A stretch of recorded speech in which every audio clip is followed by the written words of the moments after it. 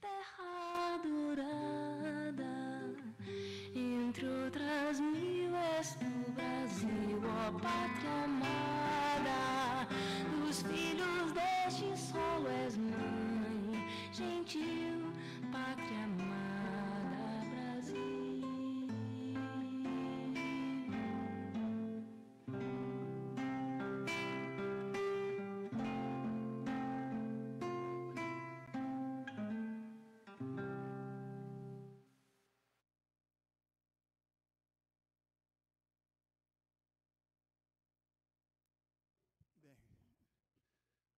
obrigado e bom dia aos colegas que eu não, não tive a oportunidade de cumprimentar pessoalmente. Bem-vindos todos para essa nossa primeira reunião do último ano de nossa gestão. Antes de, de passar a, a leitura da, da nossa pauta, eu queria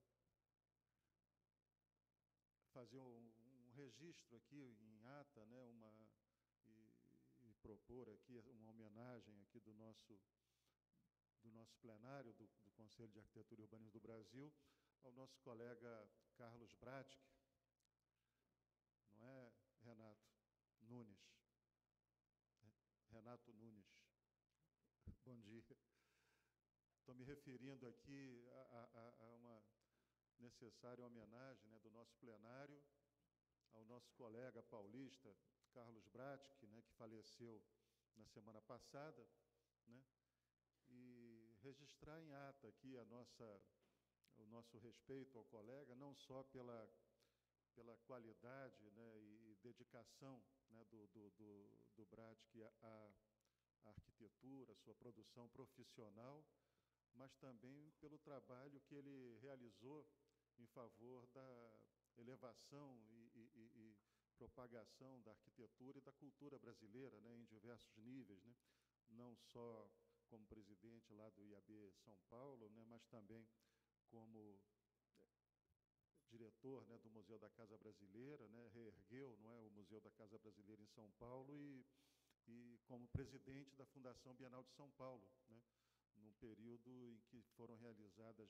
belíssimas bienais internacionais de arquitetura né, é, é, em São Paulo. Né. Então, eu proponho aqui um registro em atas da nossa homenagem né, a esse colega que, de longe, né, honrou a nossa profissão. Certo? Alguma manifestação dos colegas, algum registro a mais? Colega Presidente. Renato Nunes.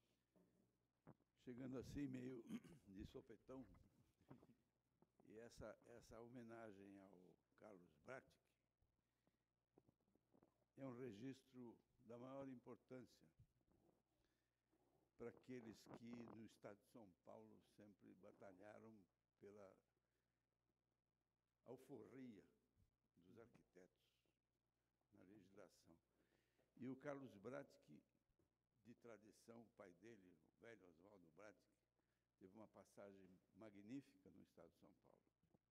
Então, eh, foi lamentável a perda do Bratic prematura, né, no ponto de vista da, do, do trabalho que ainda poderia fazer, mas eu não posso deixar de agradecer o registro, em nome do Estado de São Paulo, em nome dos arquitetos paulistas e dos arquitetos brasileiros. Muito obrigado. Obrigado. Alguma manifestação mais? Não? Então vamos lá. Vamos, feito o registro, eh, vamos então para a nossa a pauta né, da nossa reunião, 62ª reunião plenária ordinária do CAL Brasil. O item 4, teremos a discussão e aprovação da ata da 61ª reunião plenária ordinária, na sequência, o item 5, os comunicados do CEAL, ouvidoria, comissões e presidência. E importante né, para fazer o registro da atividade das comissões né, no último ano. Para entrarmos na ordem do dia, 6.1, eleição de membros e coordenadores das comissões e vice-presidente do CAL Brasil. 6.2, comissão das comi composição das comissões ordinárias para 2017. Essa, essa rotina, né, esse roteiro aí, é o, foi o que nós adotamos nas eh, reuniões anteriores. Inscrições, primeiro das comissões ordinárias, COA, CPFI, CEF, SED, CEP. Votação nos casos em que houver mais de cinco conselheiros inscritos para uma mesma comissão ou mais de seis conselheiros para as duas que atuam com seis conselheiros, ética e ensino. 6.2.3, indicação e confirmação dos coordenadores e adjuntos. 624, eleição dos vice-presidentes para a gestão 2017. Candidaturas, eleição, posse. 6.3, comissões especiais de 2017. Mesma rotina, né? inscrições, as comissões especiais, política profissional, urbana, relações internacionais. Indicações e confirmações dos coordenadores e coordenadores adjuntos. E, para completar, a composição da Comissão Eleitoral Nacional de 2017, que, como todos sabem, tem uma composição especial né, nesse ano eleitoral indicação e confirmação de candidatos, votação, se houver mais de cinco, e não há, no caso, aí, é, é, já a posse, que precisarão ser consultados, né, já que são membros externos, né, parte deles, membros externos é, ao plenário.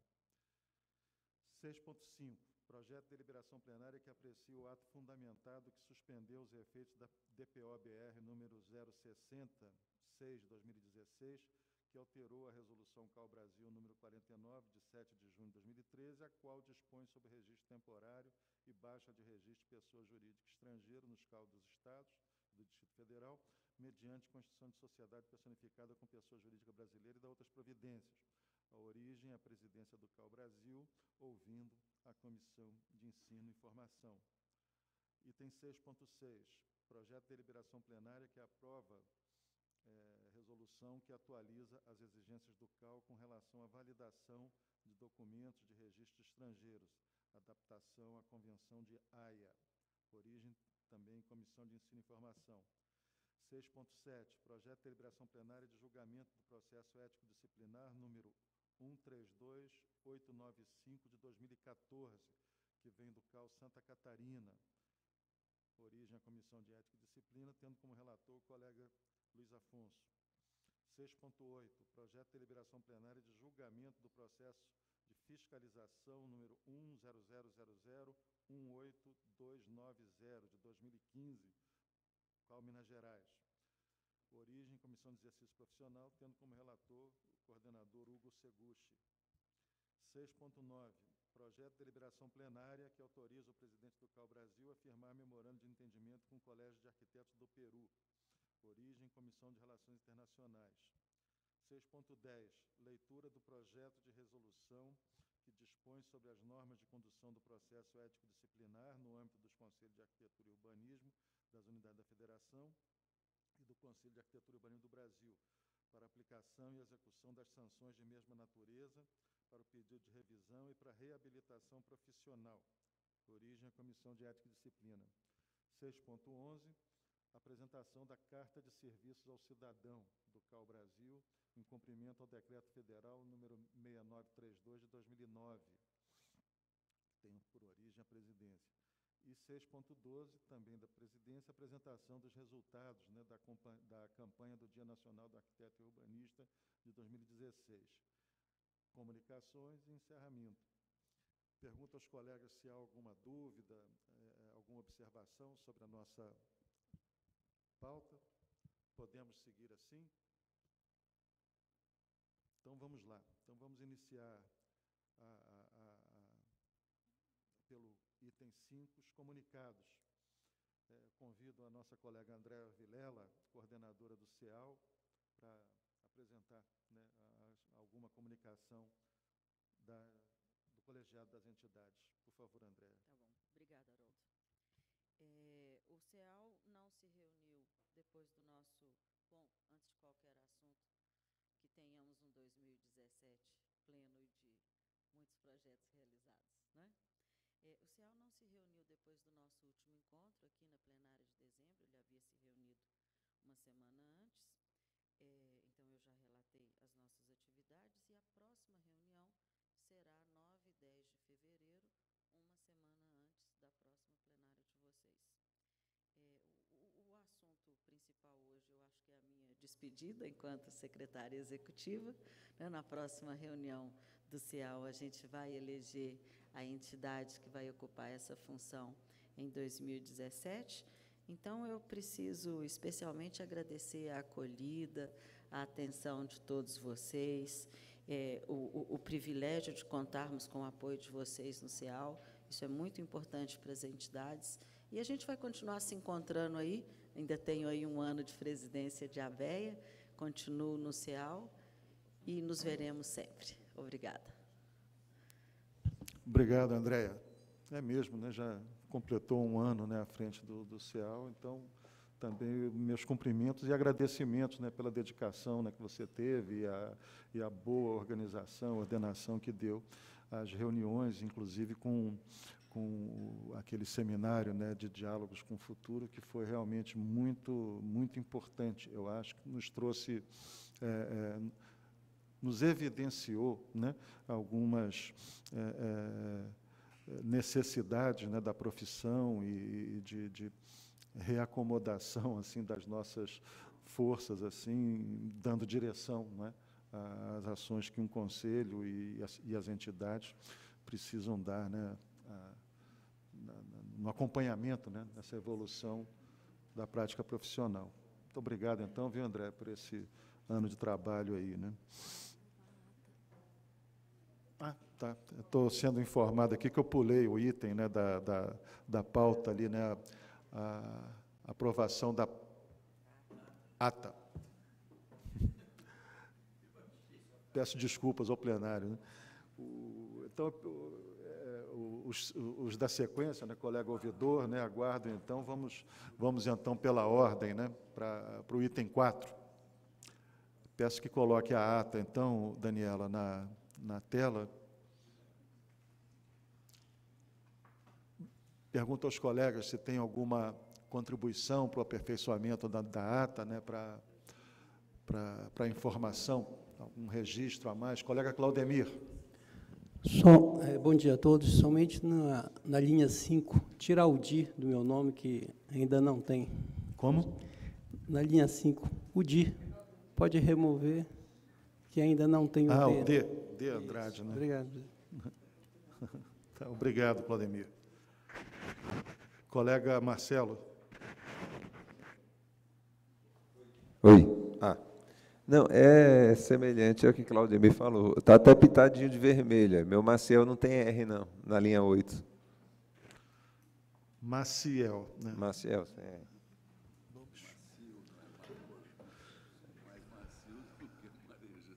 Palavra com plenário, alguma observação a mais? Então, podemos considerar que a ata reflete bem né, a, a, a reunião passada. Então, peço que coloque o painel de votação e peço aos colegas, então, que se preparem aí os artefatos de votação. Os que aprovam a ata digitam um, os que não aprovam dois, os que se abstêm três. Então, em regime de votação, por favor.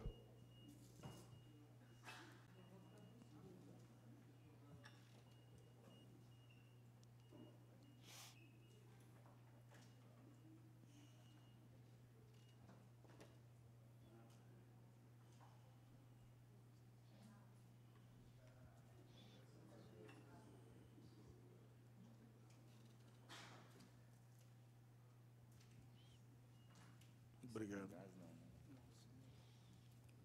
Concluída a votação. Resultado, então, aprovado com duas abstenções. Santa Catarina e Rio Grande do Norte, que não estavam presentes na reunião anterior. Muito obrigado, então, aos colegas, e então retornamos aqui agora na ordem correta, retornamos então ao, aos comunicados.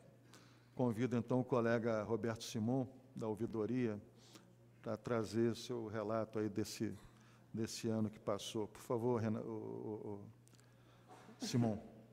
Alô?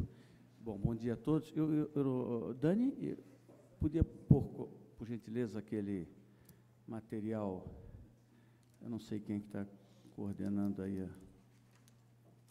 a projeçãozinha minha. Ok, obrigado. Bom, é, para começar, é, para começar o ano sem, sem falar em, em coisas é, tristes, eu trouxe aqui algumas, alguns levantamentos do período que, claro, que engloba um pouco para trás também algumas questões, mas, obviamente, é, foca no período, é, no último período entre a última plenária e essa. Primeiro, também, eu fazer, antes de começar aquela apresentação, fazer algumas considerações que foram discutidas no Conselho Diretor do, do ano passado, já, de que a gente levasse algumas questões muito é, prementes, assim, direto para as comissões, que teríamos uma forma de triagem para tentar acelerar é, os resultados antes de trazermos, de fato, a não ser se fosse caso reincidente ou uma coisa mais grave. Então, eu vou passar primeiro aos dados. Eu acho que o grande salto desse, desse período né, é o novo portal da ouvidoria, que foi integrado ao CRM. passo a passo, mês a mês, a gente vai de certa forma, com os recursos mais restritos e mais contidos, também tomando o, o país eh, e ligando ele eh, num grande banco de dados. Tá? Que, eh, então, o novo portal da ouvidoria trata também de banco de dados desde 2012, que vai migrando ou migrado para o CRM e consolidado. Consolidado porque tinha muita diferença, tinham inconsistências, incongruências, enfim.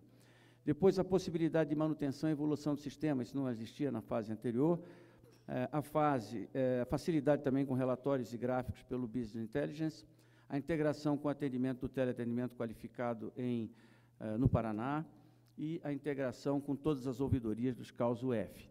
Né? Então, obviamente, agora demos mais um grande passo, seguimos fazendo, porque nem todos os estados têm ouvidoria. Por favor, o próximo. Convidamos todas as ouvidorias, eh, mais uma vez, para o um encontro anual aqui na sede do CAU, é, é o terceiro, nós temos o terceiro encontro dessa vez, né, é, que é, ocorreria no primeiro semestre de 2017. Isso aí ajudou muito a balizar e a integrar o grupo todo, também de forma nacional. Né, os ouvidores é, dos estados se sentirem incluídos, inseridos no processo de ouvidoria, que é um processo muito particular. Próximo. No ano de 2016, né, é, nós temos ali é, todos os números, é, é, digamos assim, assistidos pelo canal. Né? Desde janeiro até dezembro, lá, né? a gente vê que ele oscila pouco para cima, pouco para baixo, mas vai caindo agora nos últimos meses. Né? Isso significa que, obviamente, o sistema vai começando a dar conta, e vocês vão ver agora num slide seguinte, eu não sei se podia passar, por favor. Olha só, o canal de atendimento nós colocamos em, em funcionamento, mais recentemente, o chat. Né? E a gente tinha uma expectativa e ela foi superada em muito. Né? Hoje, praticamente 30% de todo o atendimento que nós fazemos é via chat. Ou seja, nós reduzimos a, o custo de telefonia, nós aumentamos a velocidade na informação né? e conectamos mais e mais o país como um todo, porque o chat permite esse tipo de, de operação, sem, obviamente sem custo de telefonia. Por favor, próximo. É, atendimento acessível a links do chat. Nós temos 18 sites estaduais que possuem link para esse chat. Então, é, ainda não temos a totalidade, mas caminhamos, eu acho que bem, desde que abrimos essa operação, né? É, já superando a faixa dos 50% dos estados, aí quase 60% dos estados.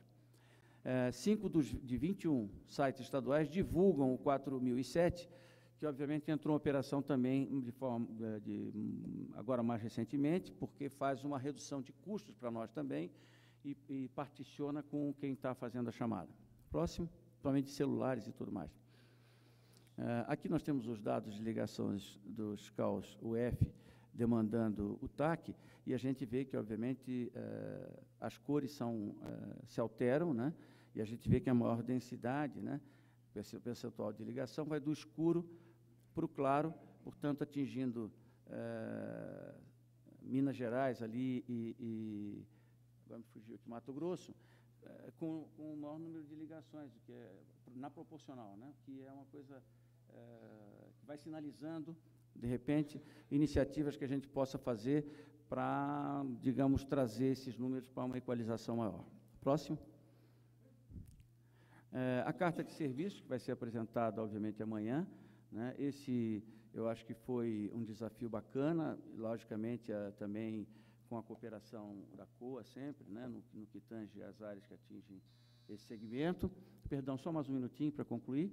É, será apresentado amanhã é, pelo Herman, que está aqui atrás, né, e que foi é, uma figura importante nessa construção, junto com outros, obviamente, né, e trata de todos esses, esses itens que estão ali. Mas eu acho que eu, eu, gostaria de salientar que foi tão importante isso que vai ser publicado na revista Projeto, Design, né, eh, o lançamento da carta de serviço para mostrar, eh, se todos não têm bem claro, ela, ela mostra o que o CAL tem que ser, o que se presta para a sociedade brasileira e, obviamente, para os arquitetos, mas em particular para a sociedade. É isso que eu tinha a relatar, presidente. Obrigado. Ah, não, perdão. Pesquisa de satisfação. Olha só, 2.444 satisfeitos, 53 regulares e 34 insatisfeitos. Um total de 3.300, nós temos 0,01%, não 1, 0,01% de insatisfeitos. Nós estamos satisfeitos, mas vamos brigar para melhorar esse índice. Obrigado, presidente. Eu acho que é a última slide, perdão. Eu não, ainda tem o refinamento. Possibilidade de parcelamento. Né? o refinanciamento. É, enfim, os problemas que ocorreram no CICAL, nós fomos administrando lá, né, e com isso também é, conseguimos dar celeridade a, a, esse negócio, que é uma, essa matéria, que é uma coisa muito importante para nós, como estrutura. Qual pastor? Estou até com medo, tem mais um, acabou. É isso mesmo. Fico agoniado com esse tempo rompido, presidente. Perdão. Lembrando que são cinco minutos prorrogáveis por mais cinco, né, se houver necessidade né, do, dos colegas né, para é, completar os respectivos relatos. Obrigado, Simão, os colegas da ouvidoria. Pois não? Eu escutei ontem no, uhum. no, no, Conselho Diretor e fiquei muito feliz, uhum. porque tanto a RIA quanto a ouvidoria vêm é, exercendo as suas atividades com alto desempenho no que diz respeito a não necessitar de horas adicionais, né, e, e certamente como diz o outro, modéstia à parte, conseguimos fazer isso, não, eh, acho que numa, tentando arrastar as demais áreas para que isso ocorra uhum. também no cálculo como um todo. Obrigado. Perfeito. Obrigado, Simon. Vamos então aos relatos das comissões, iniciando pelas comissões eh, ordinárias. Né? Convido então a, a sede, né, a Comissão de Ética e Disciplina, colega Napoleão.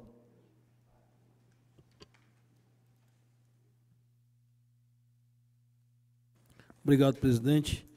Temos aqui um, um relato sucinto é, sobre as atividades, né? É, um, comunicação e relatos. A SED deliberou por aprovar a ida do conselheiro Renato Nunes no evento Código Ético e suas implicações, em Florianópolis, Santa Catarina. Foi no dia 7 de dezembro, por meio de deliberação é, da comissão né? Renato esteve lá presente. É, Joinville. É. Ah, foi em Joinville. Está tá aqui, tá, desculpa, tem um, um equívoco, né? É, nesta reunião, inclusive, a última reunião do, da comissão, estiveram presentes, além dos membros da comissão, o conselheiro Marcelo Petrucci, que coordena a sede do Rio Grande do Sul, conselheiro Eimar, que coordena a sede do Mato Grosso do Sul, e o conselheiro Reinaldo Duchenes, que coordena a sede do Paraná. Então, tivemos três convidados que nos brindaram com a sua participação.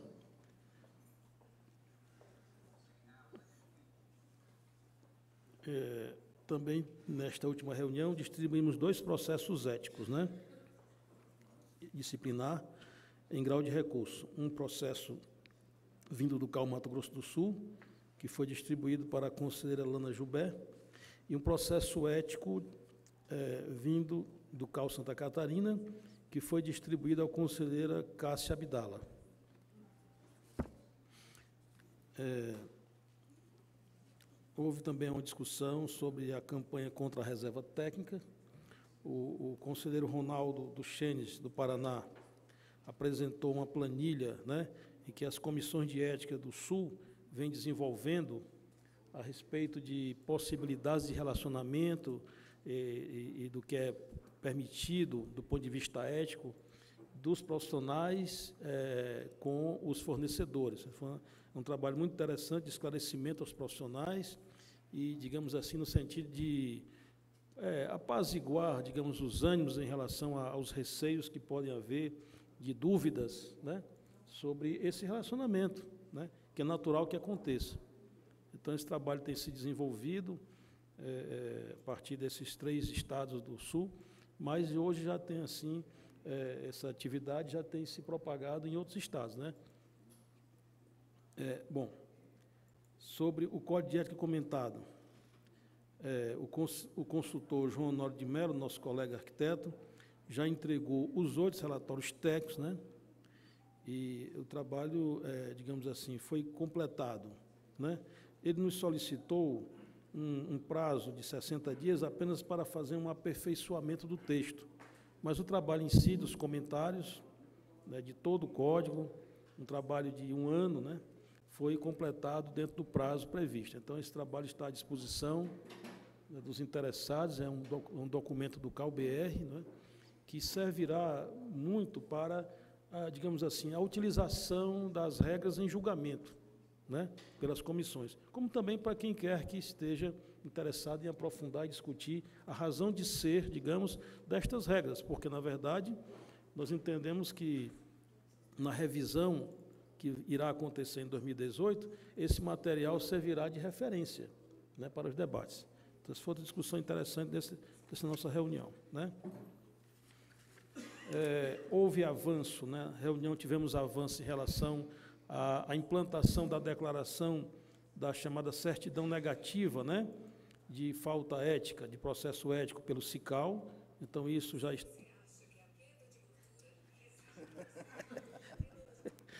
Isso já está.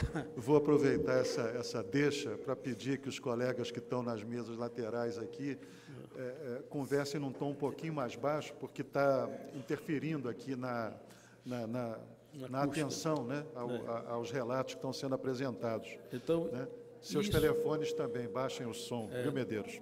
Pois é, nós, nós consideramos que essa implantação no CICAL dessa informação a, a, de acesso imediato pelo, pelo arquiteto, não precisando mais passar por um processo de, de esperar um documento por um mês, né?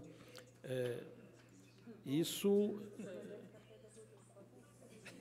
Joga no lixo esse negócio.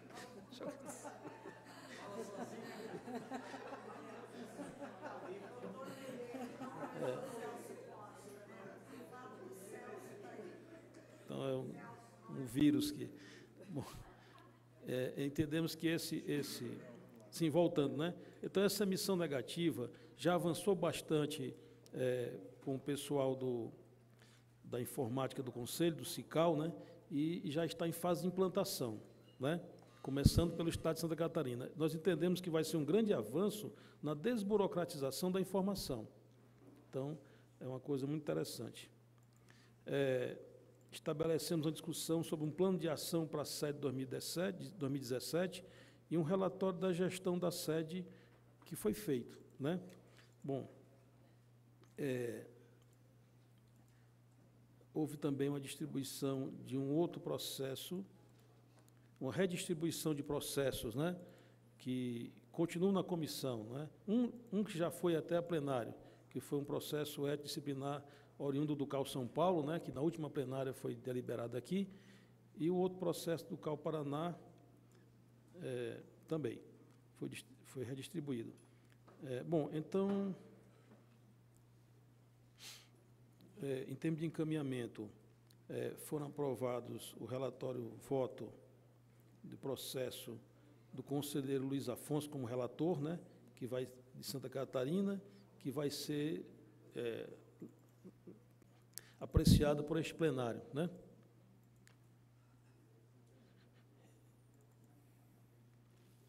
Bom, Em suma, é, é, foram essas as, os encaminhamentos, né?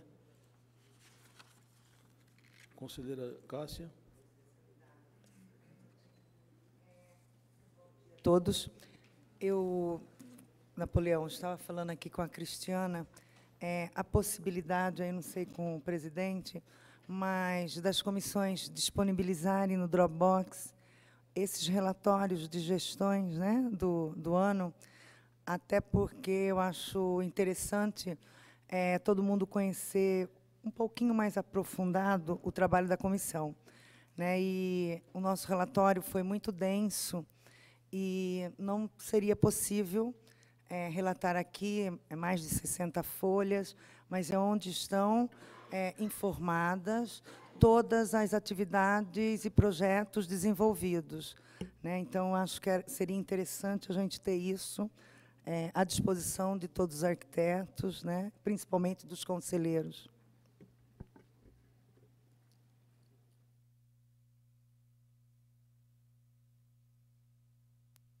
Obrigado, conselheira Cássio, pela contribuição. Mais algum membro da comissão de ética quer complementar o informe? Alguma coisa mais? Então, então pronto, esse, essa é a nossa informação. Obrigado. Obrigado, Napoleão. Vamos disponibilizar, então, o relatório da comissão para os demais colegas. Comissão de Ensino e Formação, convido o colega Geraldini também para fazer o relato de sua comissão. Bom dia, bom dia a todos. Bom dia, presidente. É, em primeiro lugar, eu queria é, justificar aqui a ausência do conselheiro Godoy. Me ligou há pouco, presidente, dizendo que teve um problema com o seu veículo é, no, na estrada ontem a caminho de Brasília e ele informou que deve chegar ao final da tarde. É, com relação às atividades, às ações da comissão de ensino, eu queria apenas destacar a, a, evolução dos trabalhos do último mês de dezembro para cá, com relação à nossa construção do nosso programa piloto de acreditação de cursos do CalBR. A gente tem avançado aí no diálogo é, é, interno com, com nossa equipe técnica e com os conselheiros, na perspectiva de é, elaborar o mais rápido possível o manual ou instrumento de avaliação de cursos, para que a gente possa, é, o mais rápido possível, também encaminhar o convite para as instituições que atenderem aqueles pré-requisitos que nós é, discutimos aqui recentemente durante a construção da deliberação plenária que aprovou o projeto de acreditação de cursos do CAL. Uh, nós também temos feito o, um diálogo com várias comissões de ensino eh, estaduais, em razão da mais recente, do mais recente aumento né, na oferta de cursos de arquitetura e urbanismo na modalidade EAD. Então, esse é um assunto que tem nos preocupado bastante, é, e nós é, estamos aí finalizando com o jurídico uma, a preparação de um material para iniciar uma, uma ofensiva com relação a essa, essa questão da oferta de cursos em EAD, já agora em várias unidades da, da federação. Também temos é, feito aí um, um, um diálogo com, com as comissões dos estados, visando organizar algumas atividades e algumas ações ah, ainda nesse, nesse mês de janeiro, é, para fazer frente a essa, é, esse problema que a gente tem enfrentado. Uh, também estamos aí é, nos preparando para fazer um processo de transição, para a nossa equipe assumir em breve o processo de elaboração das manifestações técnicas a serem enviadas para o MEC, que tem aí um aumento muito grande de manifestações técnicas desfavoráveis com relação tanto ao reconhecimento é, quanto à renovação de reconhecimento de cursos, dos novos cursos que têm é, sido ofertados no país. É isso, presidente. Obrigado, colega Geraldine. Convido o colega Hugo Seguchi, que coordenou a Comissão de Exercício Profissional, por favor, para o seu relato. Hugo.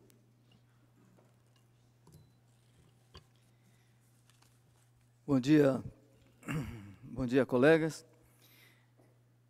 Nossa comissão, em nós coletamos dados em dois anos, sob a coordenação de Janot e a minha coordenação, através de seminários, através das demandas dos estados, e estamos finalizando a nossa revisão do, da resolução sobre RRT, tem várias situações desfavoráveis, seja como legislação, seja como é, funcionamento no CICAL e seja como facilidade de utilização.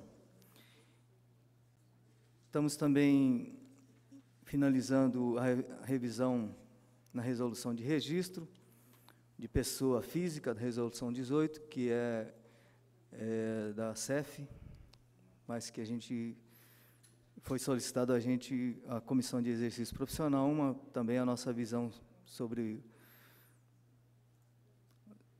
é, o nosso parecer também. Né? E também, em conjunto com a COA, a, resolução das carteiras de identificação profissional.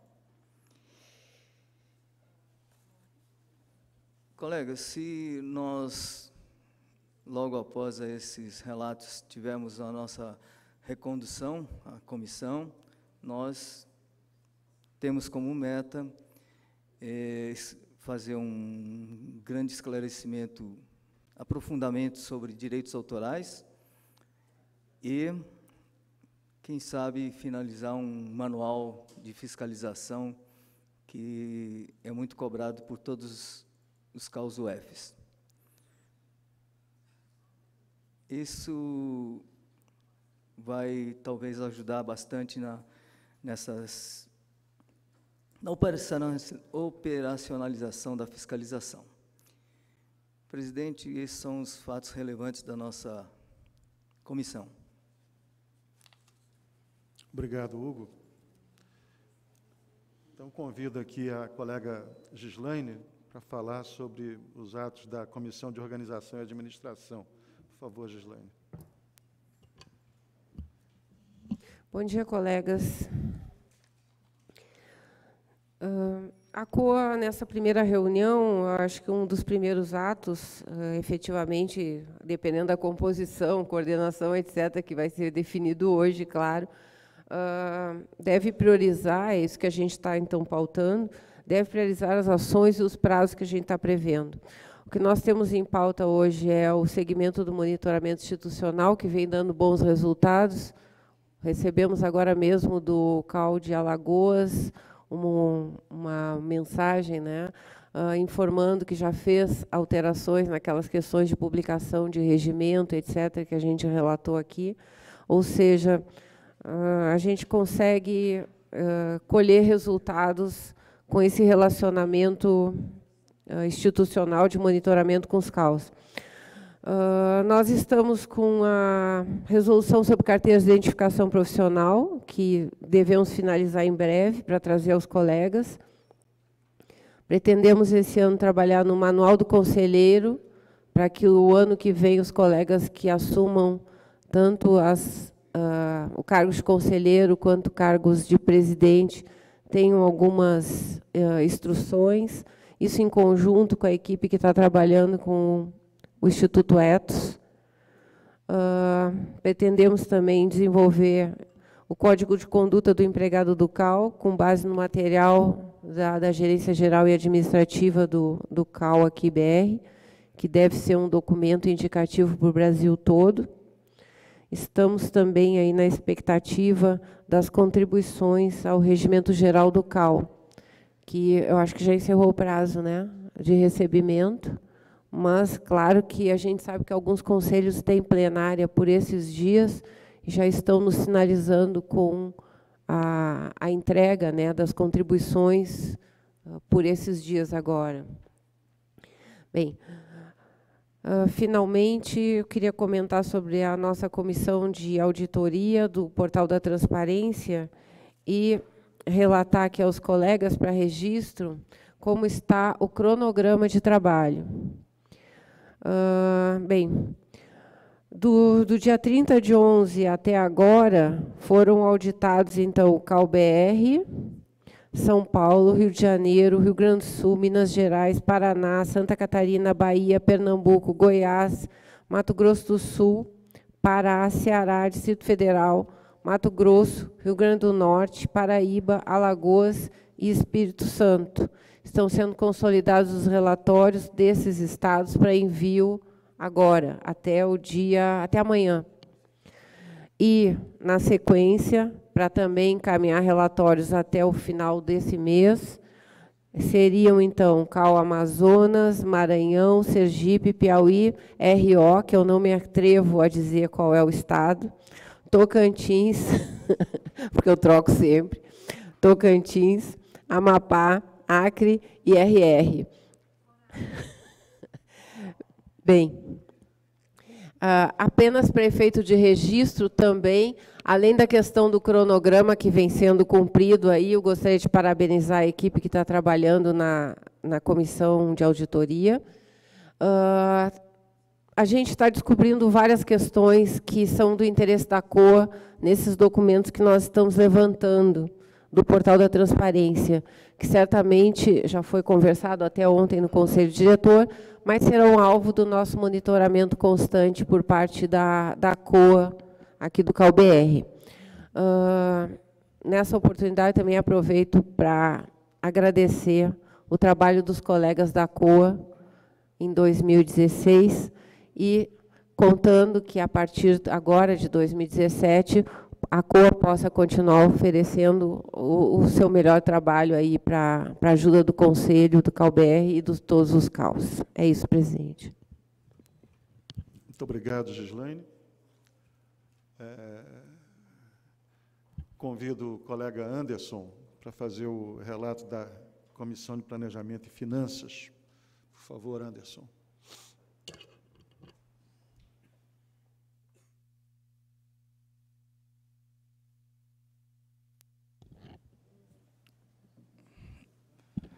Bom dia, colegas, presidente, funcionários da casa.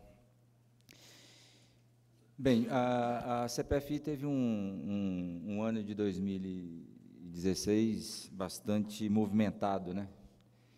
Os senhores puderam acompanhar, quer dizer, de forma, acho que inédita no nosso conselho, nós tratamos de duas questões bastante delicadas, que foram tomar de conta especial né, no caso lá do Distrito Federal, a partir dos processos de prestação de conta, também o plano de recuperação do Calmaranhão, que exigiu muito da comissão e dos, dos funcionários da casa é, para fazer toda essa avaliação e acho que conseguiu, é, inclusive com a ajuda de comissões aqui do próprio plenário, é, dar um bom desfecho para o Conselho nesses dois casos, né?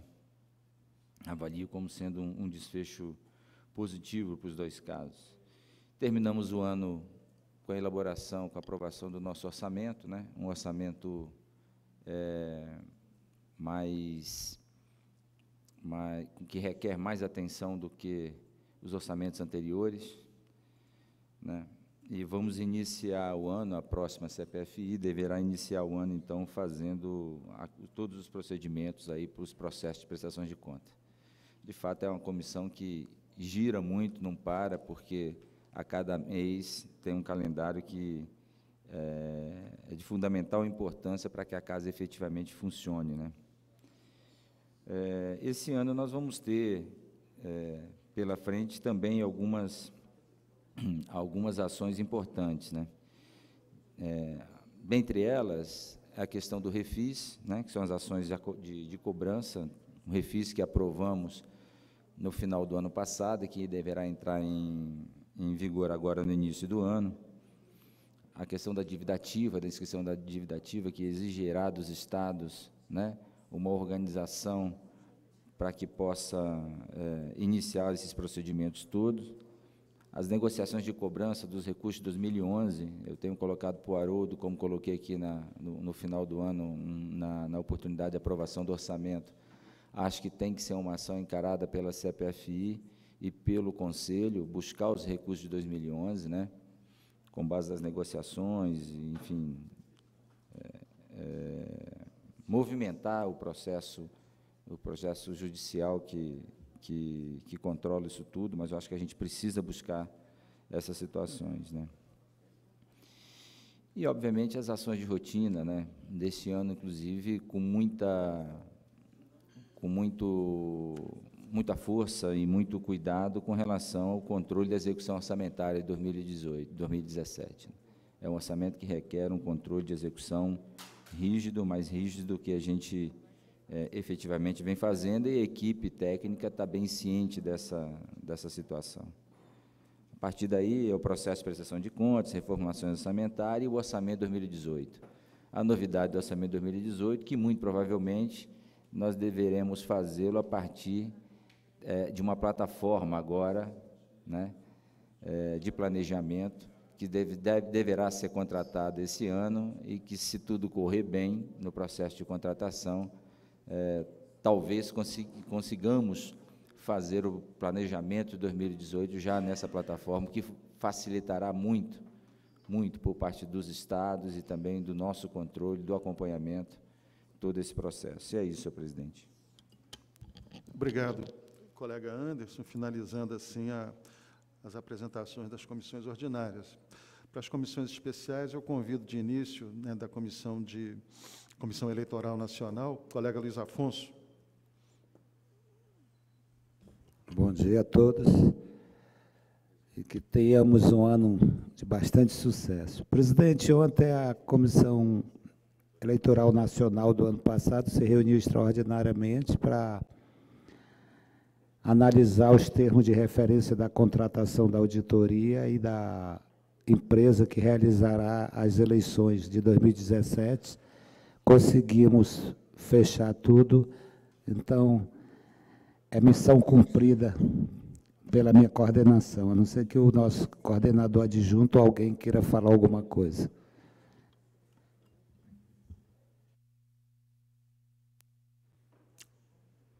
Não, passa.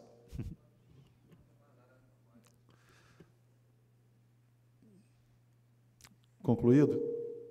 pouco alto aqui o, o, o som, hein? Bom, muito obrigado, então, colega Luiz Afonso e colegas, demais colegas da Comissão Eleitoral Nacional, que está encerrando, de fato, no seu trabalho, né, já que este ano vai ser um ano especial, né, para é, um ano eleitoral, e a comissão passará a ter uma composição necessariamente diferente né, da atual, inclusive envolvendo é, arquitetos, né, arquitetos é, como arquitetos, né, não só conselheiros desse plenário. Né? Então, agradeço muito, eh, ao, no nome né, do Luiz Afonso, né, todos os demais membros dessa, dessa comissão, pelo trabalho que realizaram, pela coordenação da, da audiência pública, né, da consulta pública, né, que, que possibilitou a participação né, de arquitetos do Brasil inteiro, com muitas contribuições. Foi um trabalho bastante importante né, que faz evoluir né, o nosso processo eleitoral, né, que desde o primeiro já veio é, é, é, com a novidade né, de uma eleição pela internet, com a participação maciça né, dos arquitetos brasileiros. Né. Então, muito obrigado a todos. Fica aqui no o registro aí do é, a homenagem né, do nosso plenário aos colegas que se incumbiram dessa ação. Na sequência, convido o colega Sunderland para informação sobre a Comissão de Política Profissional. Por favor, Sunderland. Alô. É, só queria informar que antes da última plenária do ano passado, 2016, é, não pude estar presente, mas o conselheiro Manuel esteve presente na reunião da Caixa Econômica e está bem favorável à inserção dos arquitetos. Ainda está sendo discutida, estão todos aqueles parâmetros para colocar, inserir os arquitetos, tá? como a metodologia deve ser feita para inserir no ConstruCard, mas eu acho muito em breve, né, com os próximos trabalhos da CPP, a gente vai ter já um retorno mais bem informado sobre como é que foi, vai estar sendo esse, essa relação da Caixa Econômica com, com o CAL. É praticamente isso e desejar boas-vindas a todos os amigos conselheiros, e que esse dois ano, desse ano de 2017 seja muito profícuo e que a gente esteja, tenha muita luz nesse ano. Obrigado, Sunderland. Na sequência, eu convido a colega Lana Jubé para nos falar dos trabalhos da Comissão de Política Urbana e Ambiental. Por favor, Lana.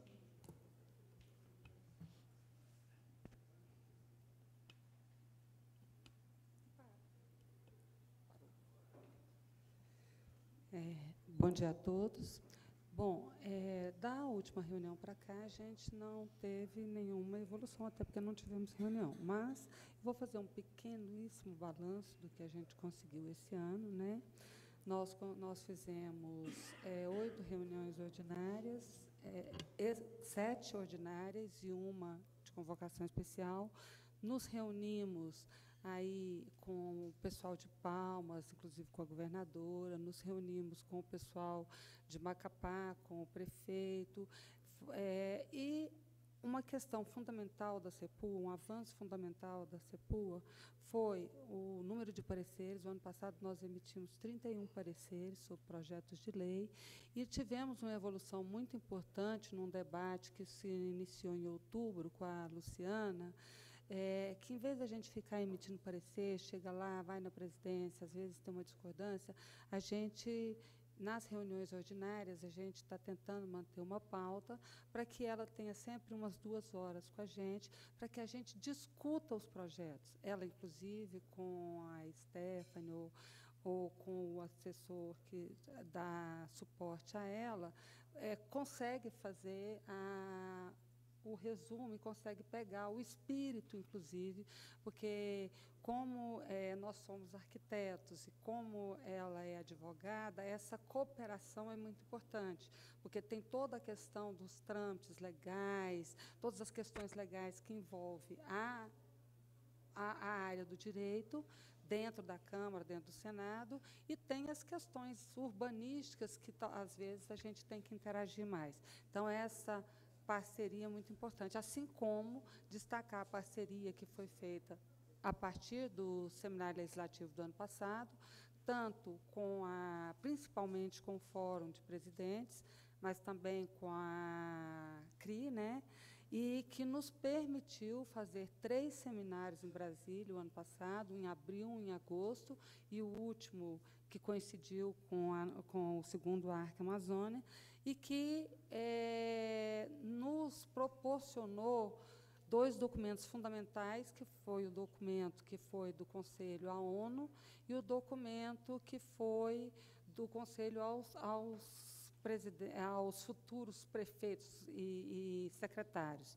Já tive um desdobramento no meu estado, que foi a semana passada, na quinta-feira, o prefeito eleito da segunda maior cidade do, de, de Goiás, que é Anápolis, nos chamou, nos, nos convidou para e novamente, já como prefeito eleito, ele, o secretário de planejamento dele, o secretário de habitação, urbanização, é um arquiteto e ele se comprometeu com a gente a estar trabalhando dentro daquilo, dentro daqueles preceitos que estão dentro da carta.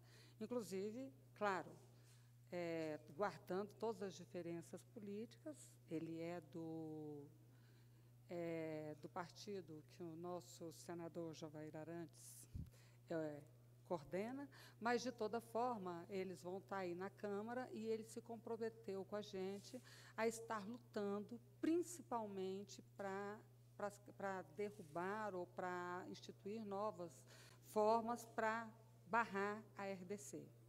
Então, isso é muito importante.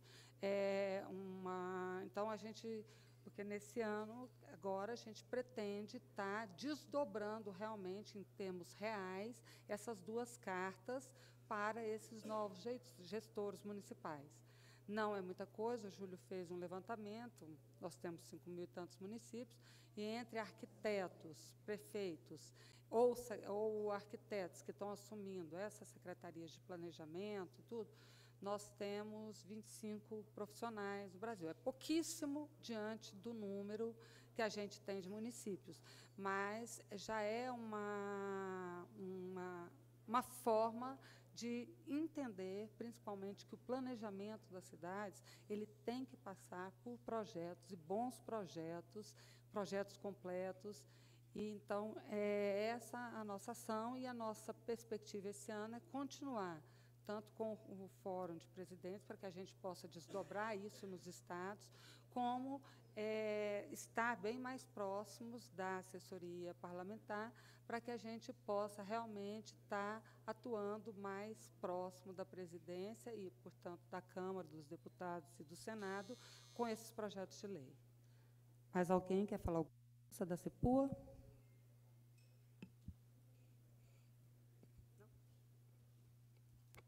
Obrigado, Lana. Vamos em frente. Colega, convido o colega Fernando Diniz para fazer o relato sobre a Comissão de Relações Internacionais. Por favor, Fernando. Bom, bom dia a todos. Primeiro, eu gostaria de desejar um feliz 2017 para todos, nosso último ano de gestão. Espero que seja muito produtivo, assim como foi 2016, né, para nós da CRI foi muito produtivo. É, bom, nós não, não, tivemos reunião desde a plenária, como todos sabem. Eu também passei duas semanas fora do ACE, as duas primeiras semanas do ano. Mas, mesmo assim, nós fizemos algumas reuniões, alguns, participamos de alguns é, eventos. Primeiro, a, nós tivemos uma, uma, uma videoconferência com os norte-americanos do EAA eh, e com o IAB sobre o desenvolvimento dessa possível desse possível workshop do Communities by Design, do EAA, no Rio de Janeiro. Né? E nós, essa conferência, nós participamos né, avançando no conhecimento da área, na identificação de lideranças e no formato que essa workshop deverá ter, que deverá ser em junho, maio ou junho do, do próximo ano. É, nós também é, fizemos a tradução do projeto de acreditação do CalBR, Discurso de Arquitetura, para justamente discuti-los com nossos parceiros eh, internacionais, como o NAAB e o RIBA, né, e, outras agências que porventura possam nos apoiar para discutir um pouco no, no, o, o, nosso processo e nos beneficiar da experiência deles. Né. Eh, nós participamos também, logo de, no dia da plenária, de um fórum, nós fomos convidados pelo secretário de Comércio Exterior, Marcelo Maia, para participar do, do quarto fórum de alavancagem do, de, dos, de comércio e serviços brasileiros. Né? Então, foi uma região muito importante, no, nos quais os, os, os, ministros de Itamaraty, o Norberto Moretti, o Lucas Ferraz, fizeram palestras mostrando as negociações que estão em curso, os principais acordos internacionais. Então, nós que não somos arquitetos, foi muito importante para entender isso e priorizar alguma, algumas ações do CalBR. Né? Nós também participamos de algumas, de, eh, respondemos a, a, a, mais demandas do Itamaraty sobre os marcos regulatórios no nosso, internacionais, né? também sobre os eh, contribuições também para a Organização Mundial do Comércio, né? e, e também avançamos em outra reunião com o projeto de, eh, de treinamento, né, de fortalecimento é, de escritórios fronteiriços. Né? Então, para isso, eu peço ao, ao coordenador adjunto, Zé Roberto Geraldini, que participou dessa, dessas duas reuniões, que ele pudesse explicar, esclarecer um pouco mais. Muito obrigado.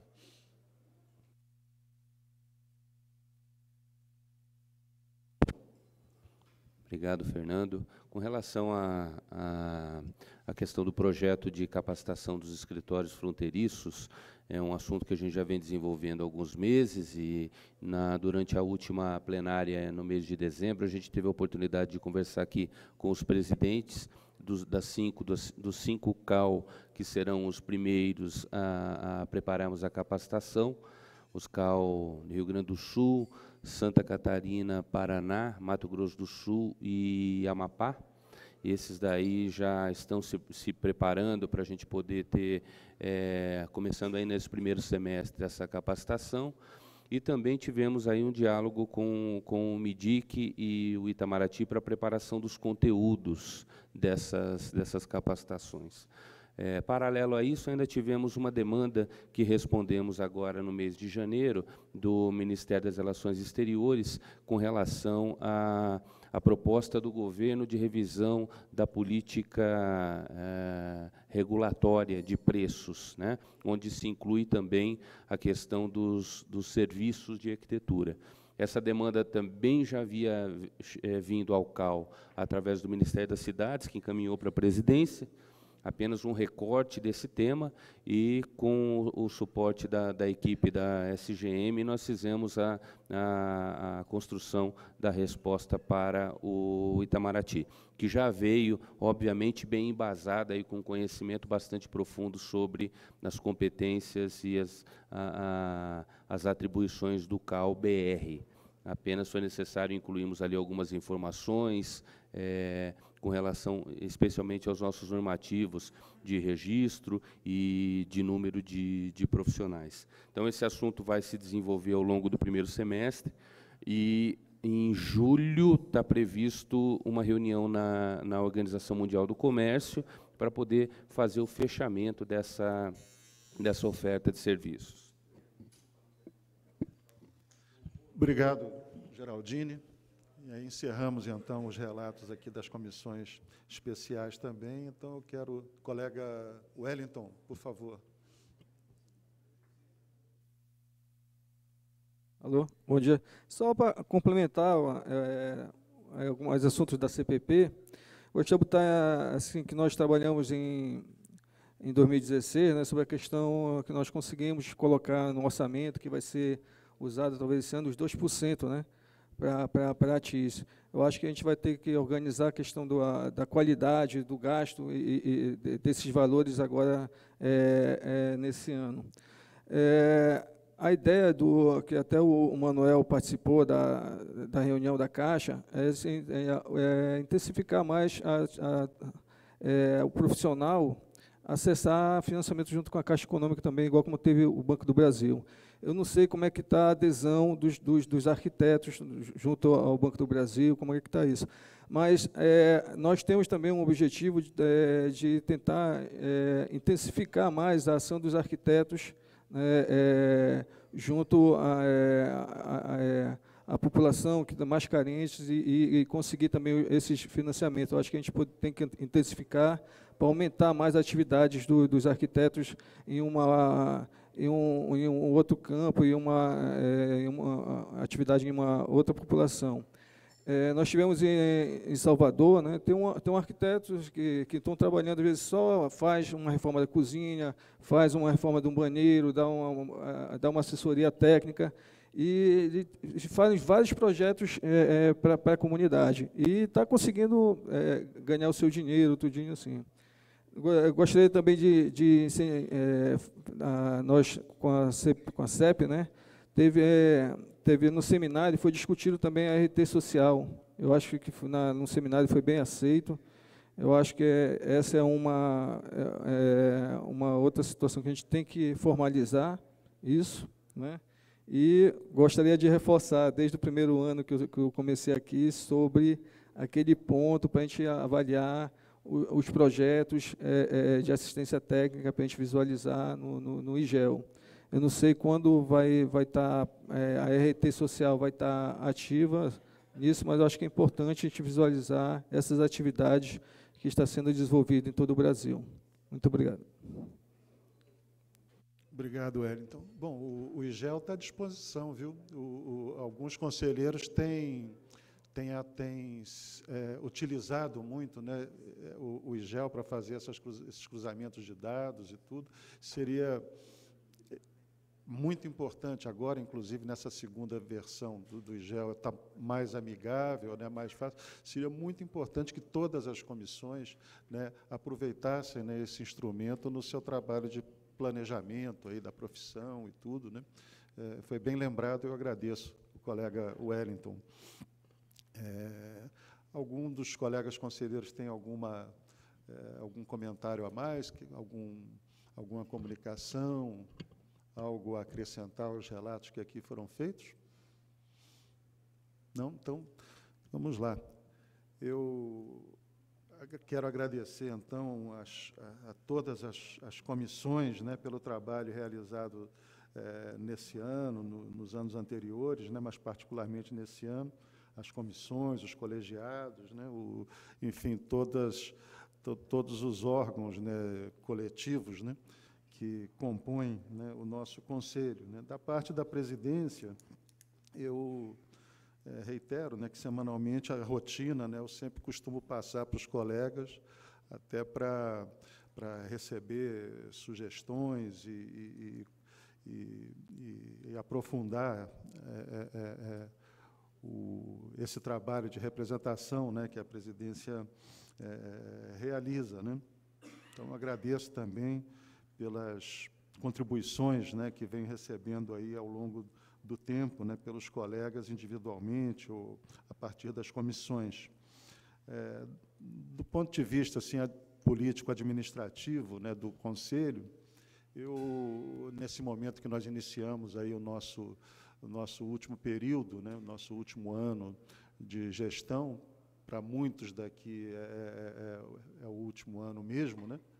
para outros é, poderá haver ainda uma continuidade, mas é, eu gostaria de fazer é, dois registros. Né? Na primeira gestão nossa, né, e aqui chamo à memória né, os colegas que participaram da primeira gestão, que continuam aqui presentes, nós nos dedicamos muito a implantar o Conselho em todo o Brasil. Né? Todos se lembram né, que nós assumimos o Conselho, né, o que nós recebemos foi foi isso aqui, né? Tomamos posse disso, né? Isso era o conselho, né? Essa era uma pastinha, né? Onde dentro tinha a nossa lei e e o, um regimento provisório e, e a ata, né? Da primeira da primeira reunião, né? Então, naturalmente, nosso, a nossa primeira gestão foi muito aplicada ao país inteiro, né? quer dizer, implantar o Conselho no país inteiro e, e, e as suas principais né, definições políticas, né, que eu chamo a atenção. Né? Primeiro, a decisão de termos realmente um Conselho em cada unidade da federação, ocupando geopoliticamente o país. Né? A segunda, a implantação do fundo, né, que foi fundamental para dar independência de fato a todos os conselhos estaduais, né, que nenhum deles ficar dependendo né, de, de, de, favores, né, todos terem condição de tocar uh, as suas responsabilidades e atribuições e permitir que todos nós cobremos né, todos os, os estaduais como gente grande, né, quer dizer, nenhum precisa dizer que não tem condições é, administrativas ou financeiras né, de se conduzir. Né. E, por último, o que foi mais difícil e só conseguimos nas últimas reuniões plenárias né, da primeira gestão, a implantação é, do Centro de Serviços Compartilhados, que também foi fundamental para que o orçamento do CAL, do CAL no Brasil né, fizesse frente às responsabilidades né, que nós temos e que nos são exigidas né, pelos colegas arquitetos e o que nós almejávamos né, quando lutamos para eh, trazer para nós a responsabilidade sobre a regência da nossa profissão.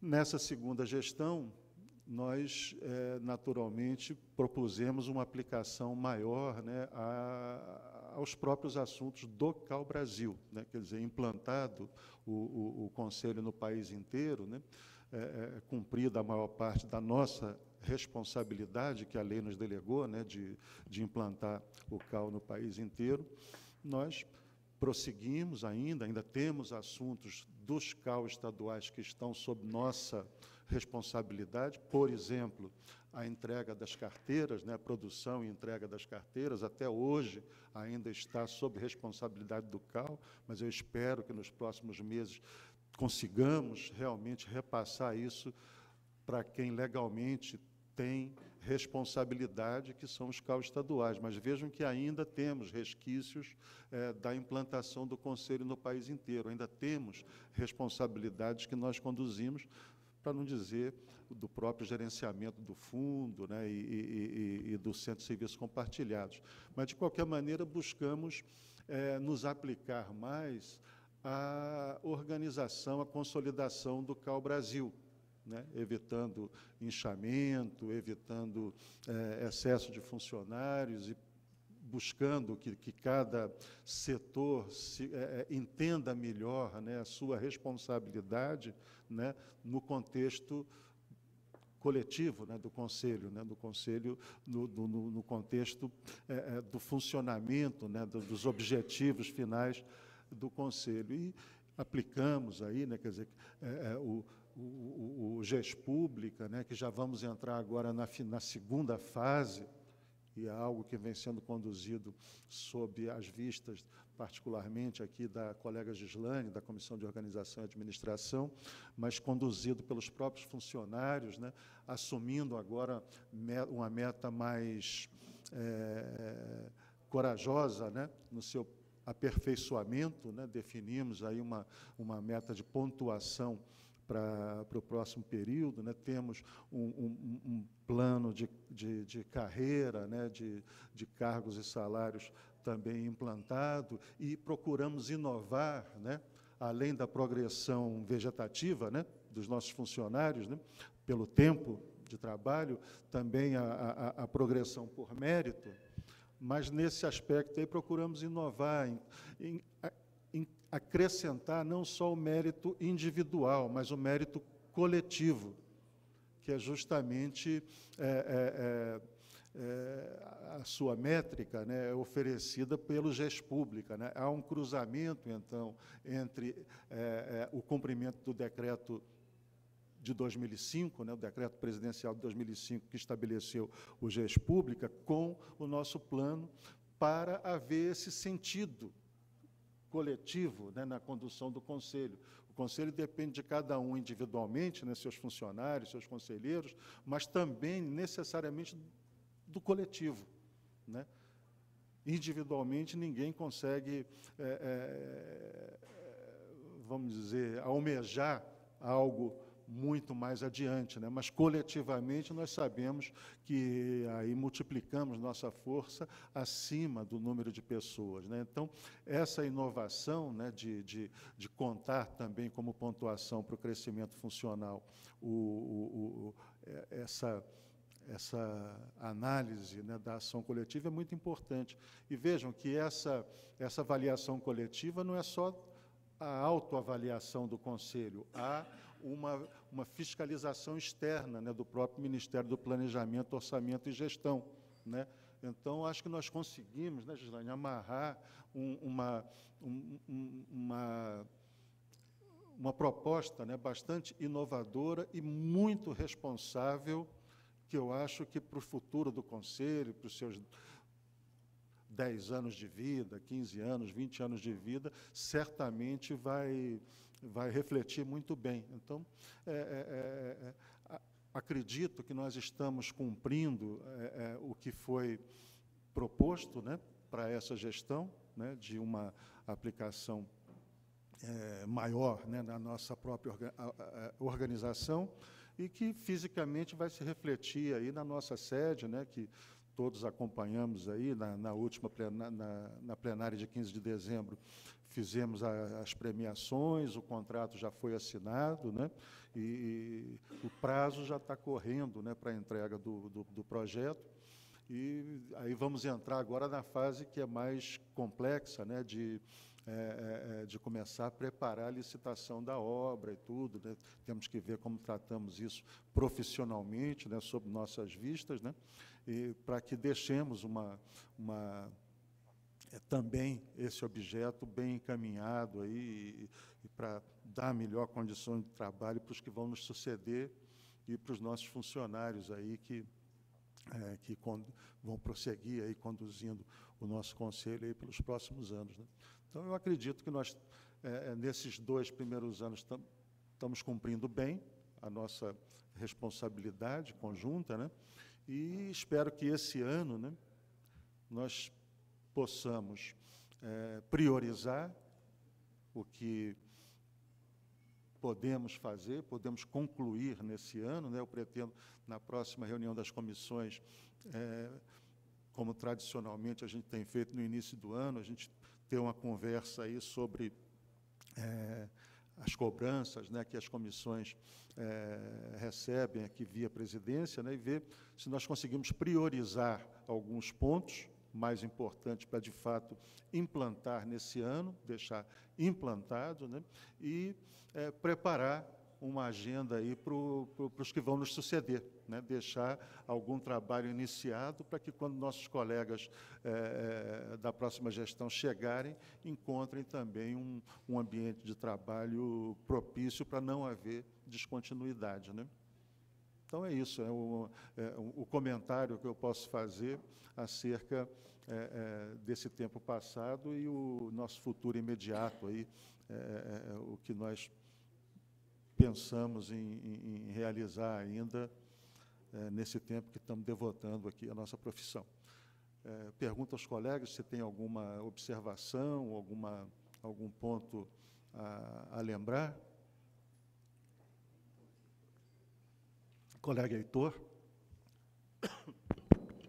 Bom dia, presidente. Bom dia, colegas conselheiros. Bom dia a todos. Eu, eu não sei se eu não, não, prestei a devida atenção, mas não, não, assim, eu não ouvi, o senhor se referir ao nosso planejamento estratégico. Falou? Eu acho que é um instrumento assim, é, de uma importância que a gente não imagina né, para a nossa organização e para assim, o direcionamento, a unificação da, da, das nossas ações. Eu acho que é um instrumento que, assim, muito, mas muito importante para as atividades do Conselho como um todo. Né? Perfeito, eu te agradeço aí pela lembrança e enfatizo né, que na última, eh, no final do ano passado, particularmente depois da, da, da reunião de Quito, né, de, de do, do, do, Habitat 3, é, é, devido à importância né, da documentação que, que resultou né, daquela daquela reunião da ONU, nós propusemos mesmo né, é, uma revisitação, né, o nosso planejamento estratégico, como aliás já era previsto, quando nós discutimos e implantamos o nosso, o, nosso planejamento estratégico, com metas e tudo mais, e a intenção é que em fevereiro, né, possando, aproveitando aí a, a, reunião plenária ampliada, que nós pudéssemos é, fazer uma reavaliação não é, do planejamento estratégico à luz desse documento da ONU, né, de é, é, é do, do, do, desafio né, da, do, do, direito à cidade, essa coisa toda, né, é, vamos dizer, checarmos né, se o nosso planejamento estratégico está de acordo com os compromissos que nós aprovamos aqui no plenário né, e propagamos aí não só pelo Brasil, não só é, para os prefeitos, né, mas também internacionalmente, né, naquele evento em que é, passamos né, aquele relato, né, Lana, é, e, e, Fernando, né, passamos aquele relato para diversos, eh, diversas organizações congêneres ou não, né, que estavam lá presentes né, naquele evento. Então, é importante fazermos essa checagem, se possível, né, Filomena, em fevereiro. Né? Vamos ver se vai ser possível organizar até lá. Seria muito bom, porque é a oportunidade em que as entidades, em que as os presidentes estaduais também estarão aqui, quem sabe faremos uma reunião com um dia a mais, né, no sábado, né, para tratarmos disso também. Vamos ver se é possível. Né? Bem lembrado. Alguma lembrança a mais observação a mais dos colegas?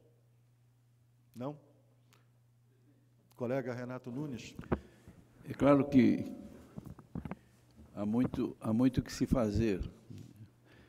Hoje é a primeira reunião plenária do último ano. Eu acho que a gente, esse balanço que está sendo feito é importante, mas nós temos um compromisso esse ano. É deixar, deixar o barco na água pronto para a travessia. Né? Eu, eu, eu sou muito interessado em firmar focos para que você possa não se perder nas inúmeras contingências de uma trajetória. E esse plano estratégico, aliado a essa questão do, do, do habitat, eu acho que ele pode desenhar um foco muito importante para este ano.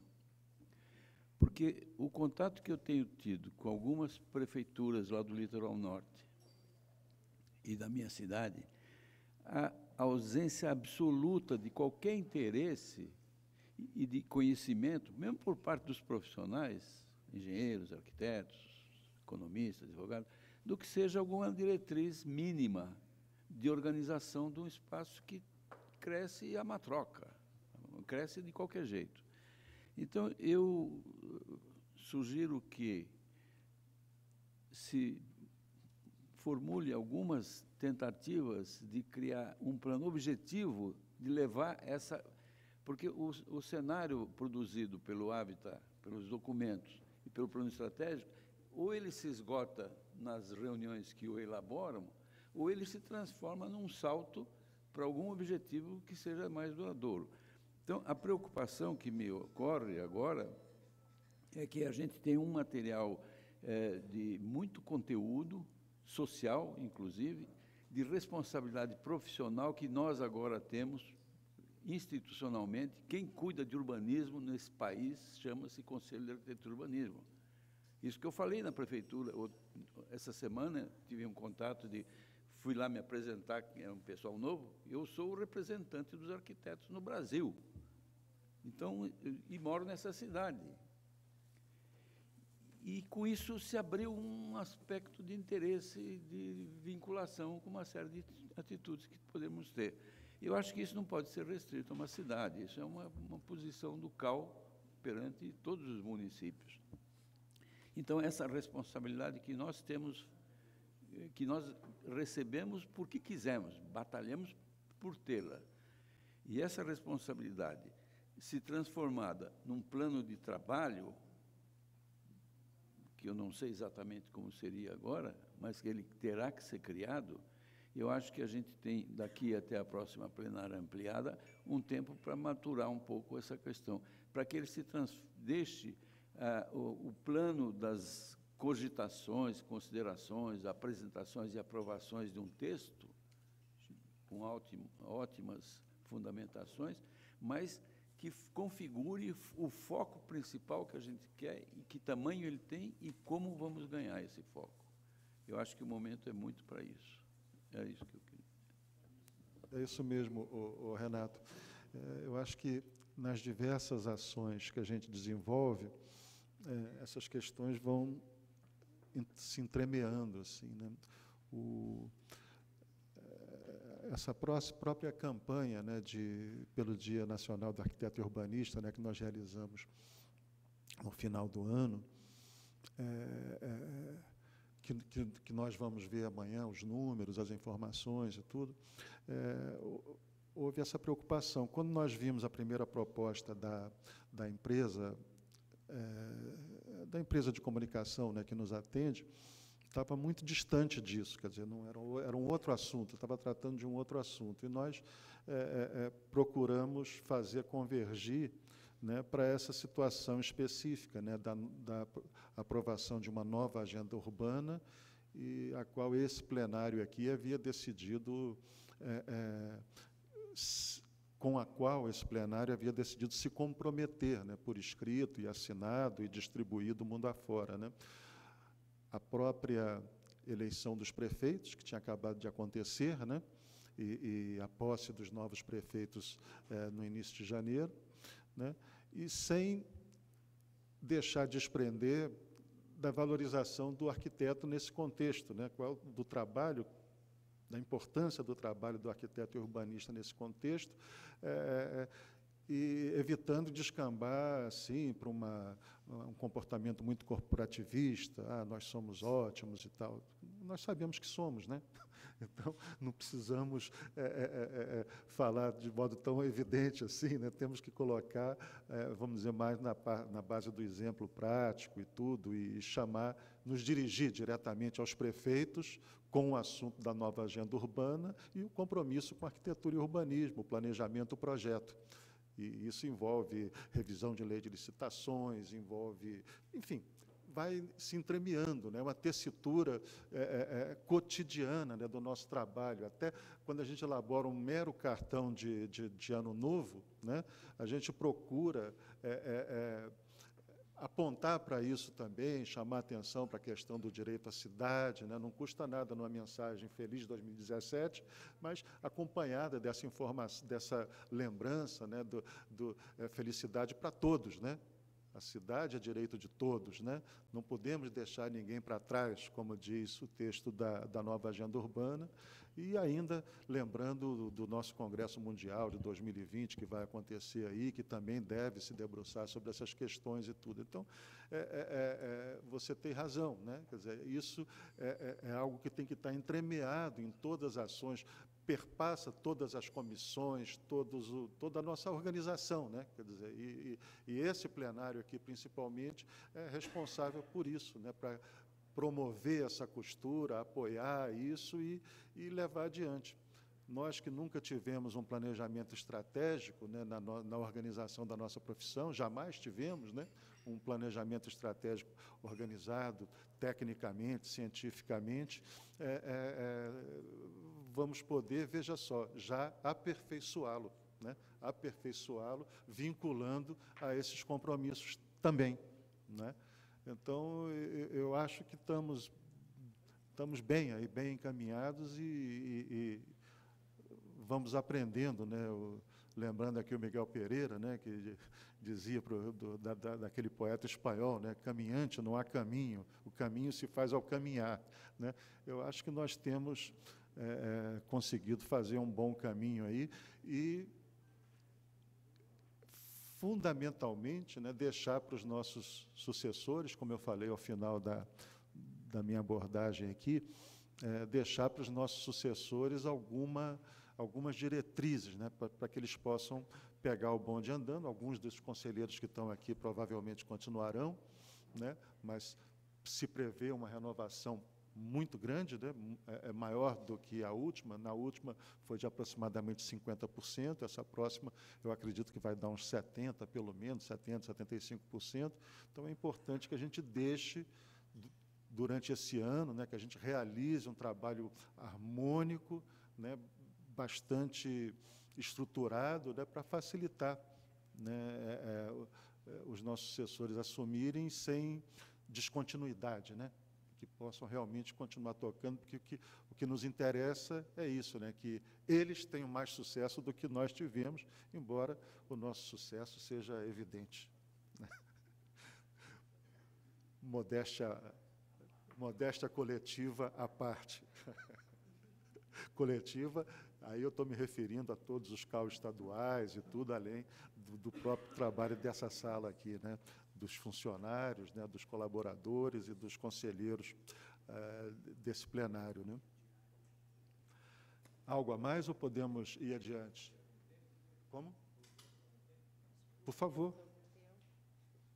Por favor, o, o, o Heitor. Bom, já que estamos assim numa fase de, de fazer essas avaliações, balanços, reflexões sobre o nosso conselho, é, eu também tenho feito né, as minhas reflexões sobre o conselho, sobre a profissão. Eu acho que fizemos muito, fizemos muito nesse período né, de cinco anos. Fizemos assim o que nós não conseguimos fazer durante décadas e décadas no, no antigo conselho, tá?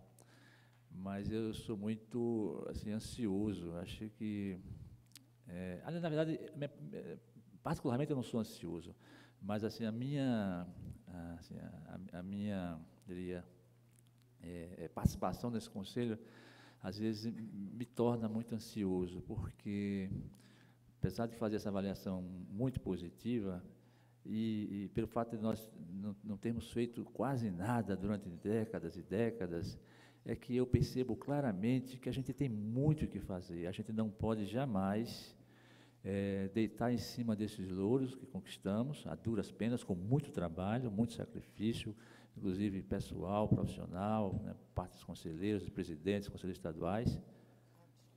Mas é, a gente tem que ter em mente que eu acho que a função principal desse conselho, e, e, pelo menos eu acho, na, na, minha, é a gente mudar a profissão. Mudar a profissão. É, a gente não gosta de falar, assim, eu até fico até deprimido quando falo sobre esse tema, mas nós somos muito desvalorizados, sabe? nós não somos reconhecidos. É, as pessoas, a sociedade brasileira não, é, não conhece o, o, trabalho do arquiteto, né? tanto é que foi explicitamente colocado na pesquisa Datafolha, né? 85% da população brasileira não é, constrói com arquiteto. Então, é um número assim assustador, isso me assusta muito. E o Conselho tem que atuar na melhoria do exercício da profissão. O Conselho, fundamentalmente, atua no exercício da profissão, da profissão. Ações que venham beneficiar esse exercício são ações que, com certeza, vão mudar o rumo e a qualidade do exercício da nossa profissão, beneficiando a sociedade e beneficiando o resultado da nossa profissão, que é a arquitetura. Então, é, eu acho que a gente tem que ter isso claro. Fizemos, mas temos muito o que fazer. Né? Compartilho, Heitor. É, é, por mais que nós tenhamos conseguido fazer, né, há uma enormidade a realizar. Daí essa preocupação né, de deixar um caminho estruturado para os nossos sucessores, para que não haja perda de tempo, né, é, recarregamentos e tudo. Né. É, eu, particularmente, já em reuniões do Conselho Diretor, às vezes nas nossas avaliações, eu, eu mesmo comento né, que é, é eu acho que, vamos dizer, eu, no meu cotidiano, né, do tempo que eu dedico ao Conselho, eu acho que eu poderia ter feito muito mais, individualmente e na coordenação é, do nosso trabalho. Acho que eu poderia ter feito muito, mas muito mais. Muito, muito, muito, muito, muito. Isso, me, me, às vezes, até me deprime um pouco, pessoalmente. Né? Mas é o, é, é, o preço da democracia. Né? Quer dizer, o, o, o que para mim é, poderia ser feito com rapidez ou com, é, com determinação e sem dúvida, na verdade não é o mesmo para você, não é o mesmo é, para cada um de nós aqui. Né? Então, conseguir coordenar há alguns, há alguns movimentos que são mais ou menos lógicos, né? que dá para a gente ir, que sabe que não vai dar problema e tudo, outros não. Né? que a gente tem que de, ter alguma discussão, alguma é, é, aprovação assim, né, entre nós mesmos, para que a coisa possa andar sem, sem distúrbio, né? sem distúrbio. Né? Então, é, é, é, eu tenho refletido muito sobre isso mesmo. Né? Assim, puxa vida, tanta energia né, para andar tão pouco. Né? É, é, é, é, o que se diz, né, que a democracia é, o melhor, é, é, é, um sistema complicado, né, mas é, é, o que, é o que a gente tem e que precisa defender. Né? É, nós precisamos defender e aceitar e procurar ter habilidade né, para contornar questões pessoais, questões é, secundárias né, e, e, favorecer o principal, o que é fundamental. O Oscar Niemeyer, né, ele, tinha, ele, ele costumava dividir os problemas quando ele ia resolver ver um projeto em três, né? Quer dizer, existe o que é fundamental, o que é importante e o que é secundário, né? Então acho que a gente tem que saber direitinho, né, separar essas três coisas para poder gastar mais energia no, que é fundamental, tentar preservar o que é, é importante, né? E se tiver que ceder alguma coisa, que seja no secundário, né? É, é, não perder né, é, é, o foco maior que nos reúne aqui. Né? Então, temos mais um ano aí, né, quem sabe, né, para avançar bem mais. Né? E acho que o, o clima que nós vimos construindo ao longo do tempo, né, do tempo né, com discordâncias, mas todos com olhos postos na mesma direção. Né? E essas discordâncias vão nos levando aí a, a passos mais seguros e certamente mais corretos. Todo dia, eu não sou, eu não sou masoquista não, sabe? Mas todo dia eu, eu, eu visito lá a, o, o, nosso site, né? os comentários dos nossos colegas e vou no Facebook, que aliás nós estamos bombando no Facebook, né? Quer dizer, nós somos, o, o apesar de não sermos, é, é, é, é vamos dizer, o quarto conselho em, em população e tudo, mas é, é, hoje nós somos o, o, Cadê o Leonardo? Está aí? Não está, não. Né, Júlio? Hoje é, é, somos o quarto conselho em número, número de visitação e, e já, em alguns momentos, somos o primeiro em movimentação, né?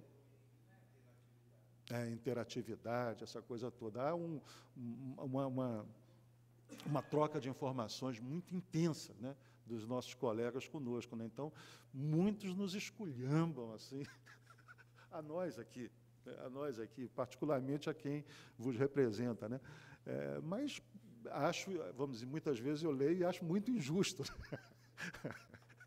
porque eu sei o que nós fazemos, né? e eles não sabem, às vezes, né?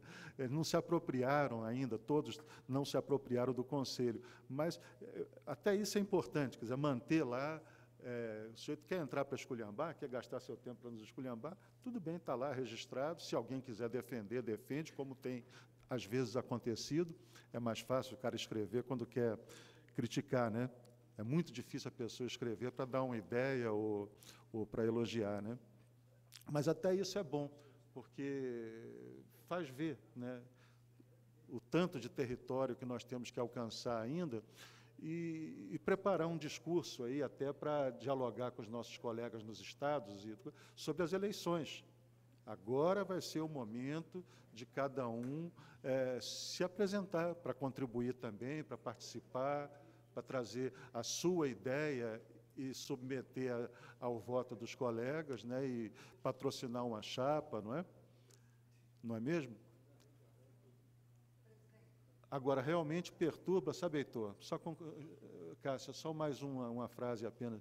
Perturba um pouco quando eu vejo colegas que foram derrotados na eleição anterior promoverem é, verdadeiras campanhas né, contra o Conselho, é, é, é, demagógicas, né, que eles próprios não, nada disso fizeram, nem defenderam quando estavam à frente é, é, do, do CAL, e agora é, insuflarem colegas contra o seu próprio conselho, sabe? isso eu acho que é altamente criticável, sabe? não sei aonde está a divisa, né? da democracia, de aceitarmos a crítica de contrários, né? e a, a, a agressão ética ao próprio Conselho, aos, aos que fazem o Conselho, a nós que trabalhamos aqui pela profissão. Certamente há uma linha que divide isso. Né? E eu acho que nós deveríamos observar, viu, Napoleão? Observar é, é, se essa linha não está começando a ser é, é derrubada, sabe?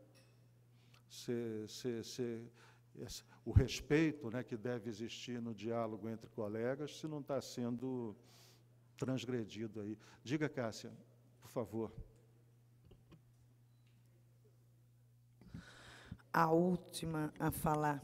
É, mas como a gente está falando muito sobre este ano e o que a gente vai deixar de legado né, para os próximos anos, é, primeiro eu gostaria de uma pergunta é, que eu, eu tenho o demonstrativo de execução orçamentária de todas as comissões de todo o CalBR, né? presidência, ouvidoria, e eu gostaria de saber se isso é disponibilizado para todos os arquitetos brasileiros. Sim, né? Bom, se sim, eu gostaria de sugerir que neste ano, não sei se está acontecendo assim, mas eu dei uma passada em todas as comissões e senti, depois da fala do Geraldini, da Comissão de Ensino e Formação, é, onde ele falou de seminários, né, de, que não existem esses seminários, é, digamos que listados, ou, ou, ou mesmo como uma, uma linha de projetos. E isso, certamente, está, certamente está dentro de alguma, de algum, de, de uma rubrica, é, né? E daí eu acho que isso faz com que, é, quando não bem colocado, porque em outras comissões eu via, tipo CEP, é, CEPUA, SEDE, CPP, quando fazem seminários, não que eles indicam aonde, mas eles falam a realização de tantos seminários, COA. Né? Então, eu gostaria que fosse colocado, porque se a pessoa pegar simplesmente por aqui e analisar, e eu adoro percentual, né? ainda mais como eu trabalho com planejamento urbano, assim, eu acho percentual fantástico, e, e, e pela cobrança que eu venho recebendo, inclusive com um documento aberto que foi escrito em Mato Grosso por uma nova associação, é, da questão de pagamento de viagens e diárias. Né? Então, daí, às vezes, é mal analisado por virtude de não estar colocado. Né? Então, eu pego aqui um exemplo da CEF, onde tinha um orçamento de 839.698, e daí, quando eu vou para projetos e atividades, eu tenho um projeto, acreditação de cursos, onde equivale a 0,05%. Lógico que está no começo isso, né? Mas aí, quando eu venho para atividades da comissão, que é de 628.207, eu pego em viagens e diárias 73%. E talvez faltou neste demonstrativo, Geraldine, é, maior clareza quanto aos seminários realizados. Vou pegar um exemplo da CEP. Né? Ela tem lá encontros temáticos da CEP, CalBR com CalUF. Então, acho que isso é importante, porque isso respalda o nosso gasto com viagens e passagens, entendeu? Né? Pra, porque eu, eu, eu, outro dia foi nominalmente colocada numa carta aberta é, o que eu respondi, que não foi oficial ao Cal Mato Grosso, mas eu fiz a minha resposta ao Cal Mato Grosso, é, pedi que fosse é, publicada na página e encaminhada a todos os profissionais do meu Estado. E uma das, das manifestações foi em relação aos gastos de passagens e, via e viagens dos conselheiros em geral, inclusive da própria plenária. Né? Então, é, eu acho que a gente, o quanto mais clareza a gente tiver nesse demonstrativo, eu acho que fica facilita para que a gente possa até argumentar. Cássia, obrigado pela, pela manifestação. Talvez pelo curto espaço de tempo que eu fiz aqui o, a fala da CEF, não ficou muito claro quando eu me referi aos seminários. Né? É, eu estava me referindo a 2017, porque nós temos aqui demandas dos estados, das comissões de ensino dos estados, que por competência legal interage com a representação das instituições de ensino, interessadas em promoverem nas suas bases, com as suas instituições de ensino da sua jurisdição, com o seu próprio orçamento, a realização de seminários para tratar da questão de ensino. Eu não estava me referindo aqui a seminários da comissão, da CFBR, porque a gente teve uma orientação em razão lógico, da, da, restrição orçamentária, isso impactou em todas as nossas comissões, de reduzir essas ações de seminário, especialmente fora de Brasília. Né?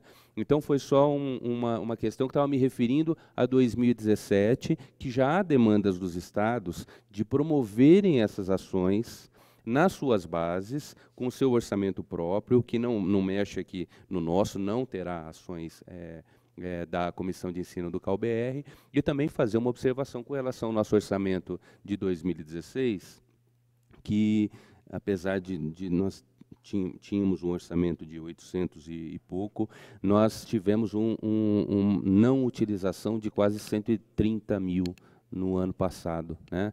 É, em razão, obviamente, das dificuldades de implementação do, do nosso orçamento, ainda apesar do nosso esforço de deixarmos aí no, no restos a pagar para atividades de projeto da comissão, é, é, com relação aos projetos que nós temos de acreditação para esse ano. Né? Nós temos aí um, uma expectativa de, de implementar esse projeto piloto nesse ano, né? mas isso não foi possível. Então, eu estava me referindo apenas a 2017, acho que você tem razão, precisamos deixar isso mais claro, mas é, nós temos que interagir muito com os estados nesse campo. Pessoal, Uma vez, tirar minha dúvida, só um pouquinho, presidente. Não, não fazer troca de Não, chumbo. só mais um pouquinho. É Se porque tem ele. uma sugestão. Não, Cássio? sugestão é porque como, é, eu entendia que todas as comissões estavam fazendo um relato do que aconteceu. Uhum. Me desculpe, Geraldine, mas para mim, todos os que eu escutei, Uhum. ninguém estava fazendo uma projeção de 2017. Então, desculpa você. É, então, por conta disso, tá, Geraldine? Por conta disso. Mas, mesmo assim, tá bom, ainda me incomoda 73% de gasto de passagem e viagem dentro de um orçamento total.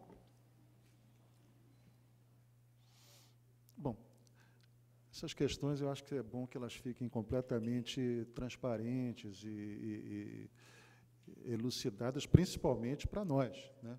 Eu acho que nós aqui, nós 28 aqui, não podemos ter é, dúvida com relação a essas questões.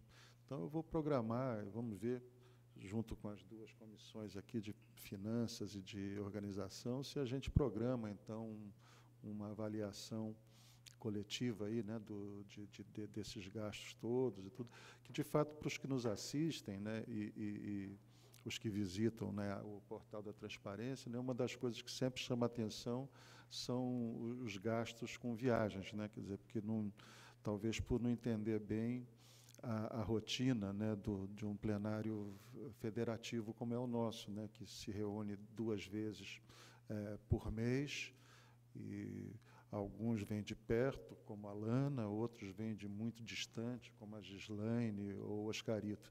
Né? É, e há realmente uma, uma, uma, despesa grande. Né? Uma boa parte do nosso orçamento é consumido nisso, né? além é, dessas representações né, que nós realizamos. Então, é fundamental que nós mesmos tenhamos isso claro, e então, se há dúvida entre nós mesmos, vamos fazer uma, uma verificação geral, né, como é que estamos fazendo, se está adequado ou não, tá bom? Alguma, algum comentário a mais? Podemos entrar na ordem do dia. Então, obrigado a todos. Vamos entrar na ordem do dia, então. É justamente a organização das nossas comissões. Né? O, nas duas reuniões anteriores né, da, do Conselho Diretor, que é justamente formado pelos coordenadores das comissões ordinárias, houve manifestação, que ontem foi confirmada, né, pela manutenção da, das atuais estruturas das comissões, justamente objetivando é, a consolidação né, do trabalho é, nesse, é, nesse ano final da nossa gestão. Então, vamos dizer, de antemão, assim, para antecipar, a, a não, não, perdermos muita, muito tempo é, em procedimentos formais, eu faço a pergunta aqui, eu, vou dirigir aos atuais coordenadores das comissões, né, se, se todos os membros de cada comissão é, ordinária, né, que cada comissão ordinária reúne um conselheiro e é composta por todos os, os, os, os componentes né, dessa, dessa bancada. Né? Então, se todas as comissões, os seus membros, pretenderem se, se manter né, onde estão, então não haverá nem necessidade de passar uma lista, fazer aquele procedimento regulamentar. Né? Então, eu vou perguntar aqui aos coordenadores das comissões, naturalmente abrindo a palavra ao plenário também, se alguém tiver interesse em trocar de comissão. Se não, aí passaremos então a, a, a homologar cada, é, a recondução de cada comissão. Né, na, na, na, estrutura atual. Então, eu pergunto inicialmente para a nossa a Comissão de Ética e Disciplina se, se seus membros pretendem se manter na comissão. pretendem permanecer. Consulto, então, a Comissão de Ensino e Formação. Voz consulta a comissão, todos perma pretendem permanecer. Obrigado. Comissão de Exercício Profissional. A CEP pretendem continuar na CEP. É, colega Gislaine, Comissão de Organização. Ah, eu não cheguei a falar com todos os colegas, mas estão todos aqui, fora o, o Celso. Mas, ah, até o momento, eu não sei de ninguém que queira trocar de comissão. Consulto até aqui pessoalmente a Rosiana, o Wellington, Wellington, Sunderland, está faltando o Celso. Celso, Celso. continua na COA, Celso. Segue na COA. Continua na COA. Obrigado, Gislaine. Você continua? No. O que, que é o Wellington? Tá, mas aí depois é, a gente conversa. vê. Bem, colegas, então a COA mantém a sua formação. Colega Anderson, CPFI. Muito democrático, eu falei com eles que eles vão ficar e pronto. Entendeu? É assim? Não, acabei de consultá-los aqui, presidente, está tudo certo, a, a turma é boa. Então, é, é, é, o colega Wellington falou sobre a mudança de, de coordenação adjunta, é isso?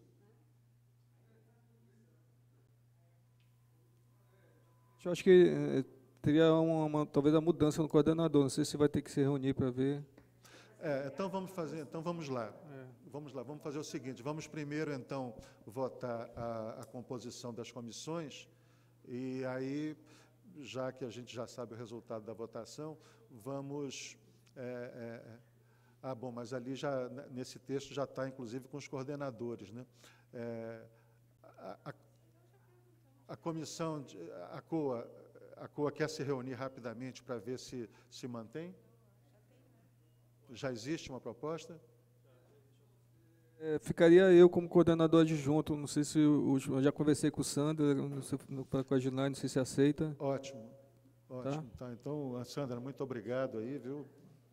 Parabéns ao Wellington aí pela disposição. Então, eu peço que faça o ajustezinho ali na, na composição. É,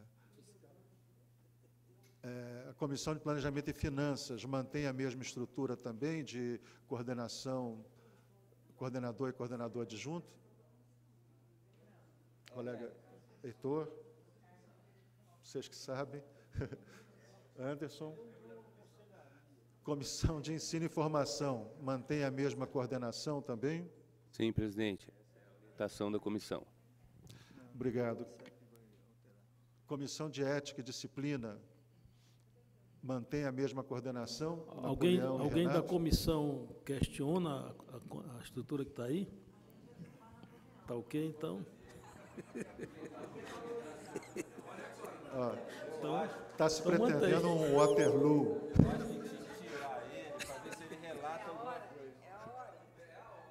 É a hora de tirar ele para ver se relata, hein? Já passou. É, próximo, e 1.5, exercício profissional. O adjunto vai ser o Ricardo. É, uma alteração na comissão de exercício profissional. É, no lugar do Claudemir, o colega Ricardo Martins. Concorda, Claudemir? Concorda, Ricardo? Então, tá bem.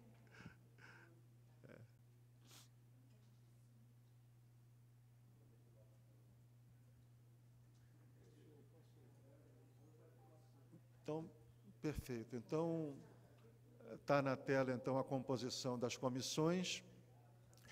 É, então, vamos submeter em bloco aí ao, ao plenário a, a, votação da composição das comissões ordinárias, né?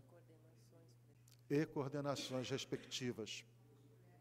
Obrigado, Gislaine. Não, acho que nós podemos votar em bloco ou não.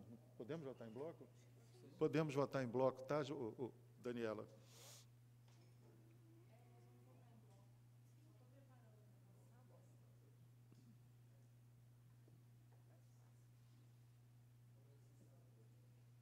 Empatou.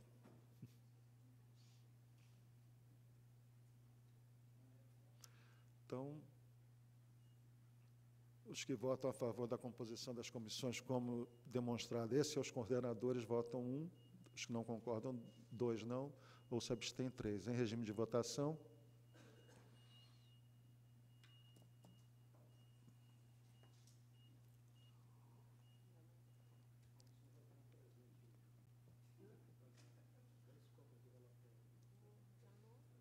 Rio de Janeiro.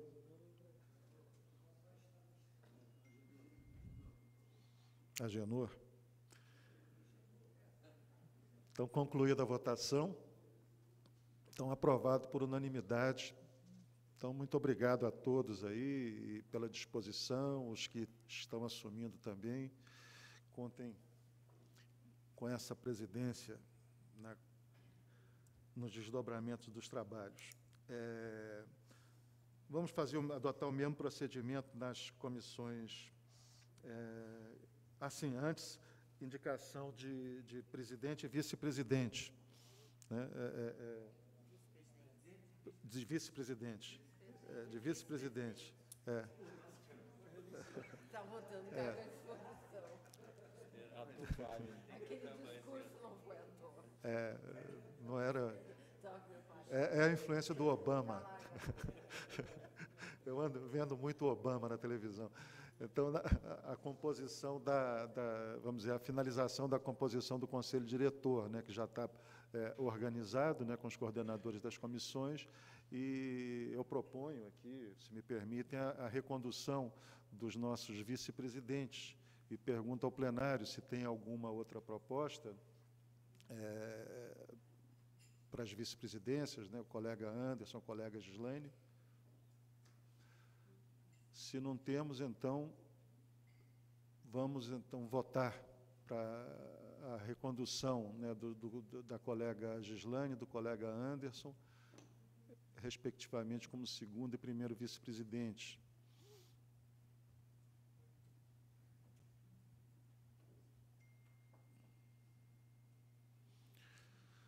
De Menezes.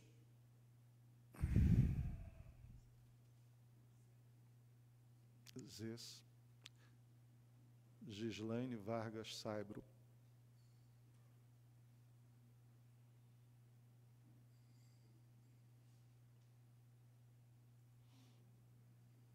Você vê que aqui também é democrático, né? não perguntei para nenhum dos dois aqui também, não.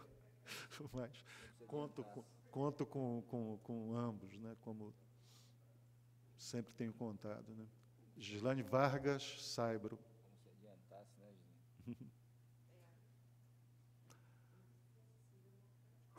Então, peço que coloque o quadro de, de, de o painel de votação.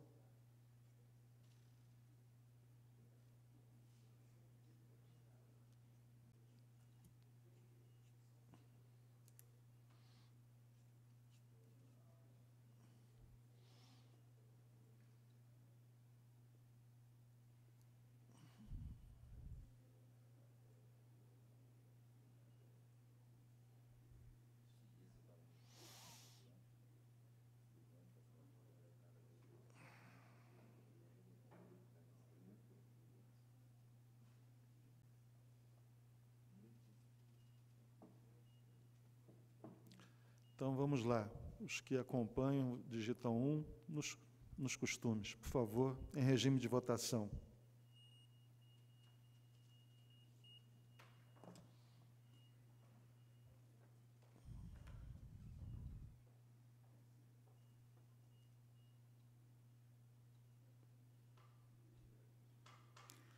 Concluída a votação. Aprovado também por unanimidade. Agradeço muito a Gislaine e ao Anderson e passo a palavra aqui para a colega Gislaine. Também aos, aos colegas. Obrigada. Ah, o Anderson também está agradecendo. E também foi democrático. É, Eu agradeço muito a, a- a ambos e aos colegas que compõem as comissões e esse plenário. É, bom, vamos adotar o mesmo procedimento para as comissões especiais. É, pergunto, é, é, exceto a Comissão Eleitoral Nacional, que vamos tratar logo na sequência. Né? É, então, primeiramente, a Comissão de Política Profissional. Colega Sunderland. Tem que ter um particular. Então, vamos lá, Comissão de Política Urbana.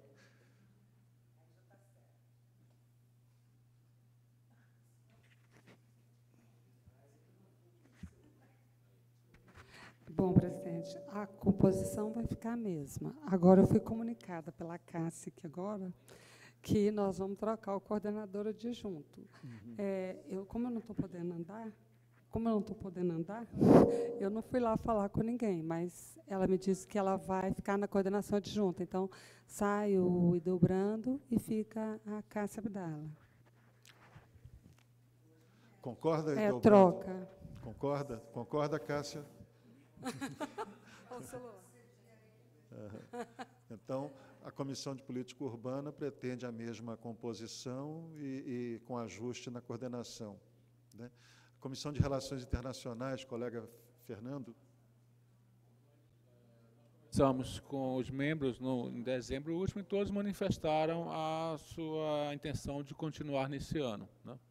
Perfeito. Em relação à, à coordenação e a coordenação de junta não foi discutido, mas eu pergunto aos membros se devemos fazer alguma mudança ou se devemos continuar. Colega Geraldine, Anderson, Janot, Marcelo, tudo bem? Então, então Comissão de Política Profissional, colega Sunderland. Ah, acabei de conversar com Alô? Ah. É, é, a composição que, atual, o Sunderland é, é o coordenador é, e o Wellington é o adjunto. Não é isso? O Sunderland é o coordenador. E, isso. E o adjunto é o colega Wellington, que está assumindo também a, a, coordenação adjunta da, da COA, né, Wellington? Vai se manter também nessa, né?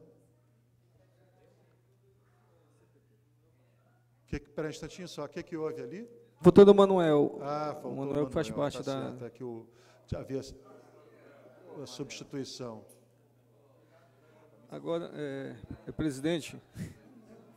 Não. Presidente. Manuel, Manuel, Manuel. Presi é com U ou com O? Manuel, Manuel, né? Manuel. presidente. É, ah, não sei se cuidou. É que os, é, os, os, os, conselheiros não estão querendo sair, mas parece que tem um aqui que está querendo entrar, né? CPD.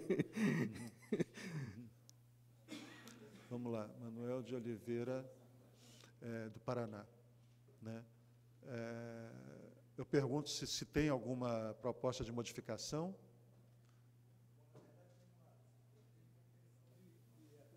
Candidatura de, de, volta à comissão, né? E tenho, inclusive, uma, uma, uma, pauta, uma proposta de trabalho que eu acho que o lugar a ser desenvolvida essa proposta é a CPP.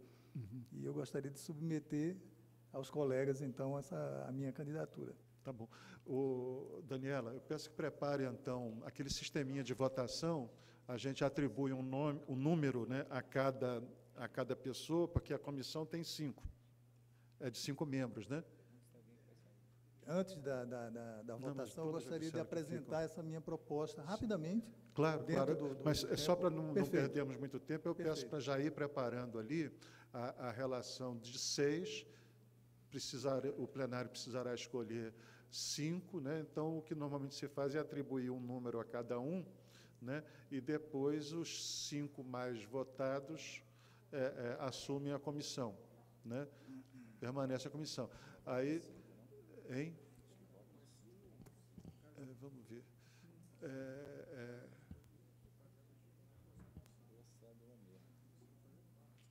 então, o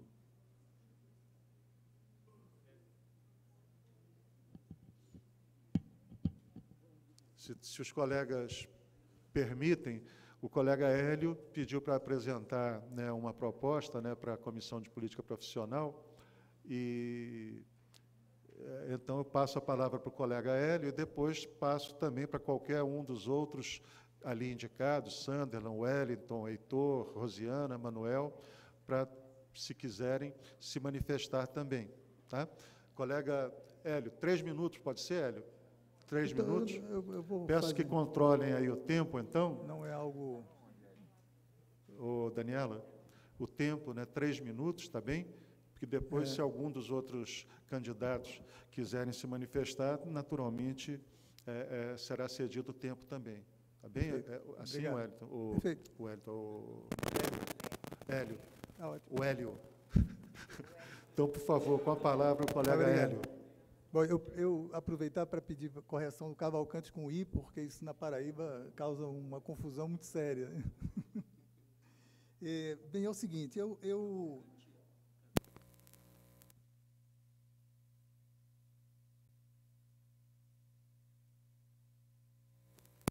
Isso está tá ligado, mas agora está indo, né?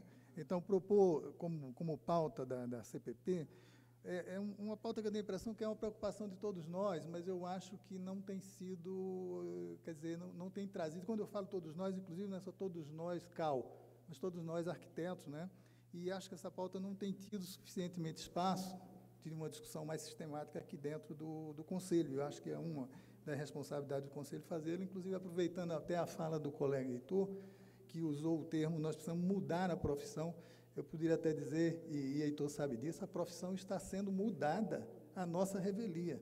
Né? E para que a gente controle essas mudanças, essas transformações, que é exatamente o objeto dessas minhas reflexões, que eu quero trazer para o coletivo, e acho que o lugar é a CPP, né? é, é fundamental que a gente compreenda essas transformações, que são de uma complexidade muito grande. Na verdade, trata-se de transformações. o microfone aí. Na verdade, tra trata-se de, de, transformações que estão redefinindo né, relações de produção e os processos de trabalho e produção da própria arquitetura. Nós estamos diante de um processo de segmentação do mercado, fragmentação do trabalho, fragmentação do projeto, já foi objeto até de um rápido debate aqui entre, entre Renato e, e, e, e Maria Elisa, com quem eu tenho trocado algumas ideias a esse respeito. Já apresentei um esboço dessas, dessas reflexões a alguns colegas. Né? É, e, portanto, fragmentação do trabalho e do, e do próprio projeto e deslocamento de atividades dentro da cadeia produtiva que interessa ou que está inserida a produção da arquitetura.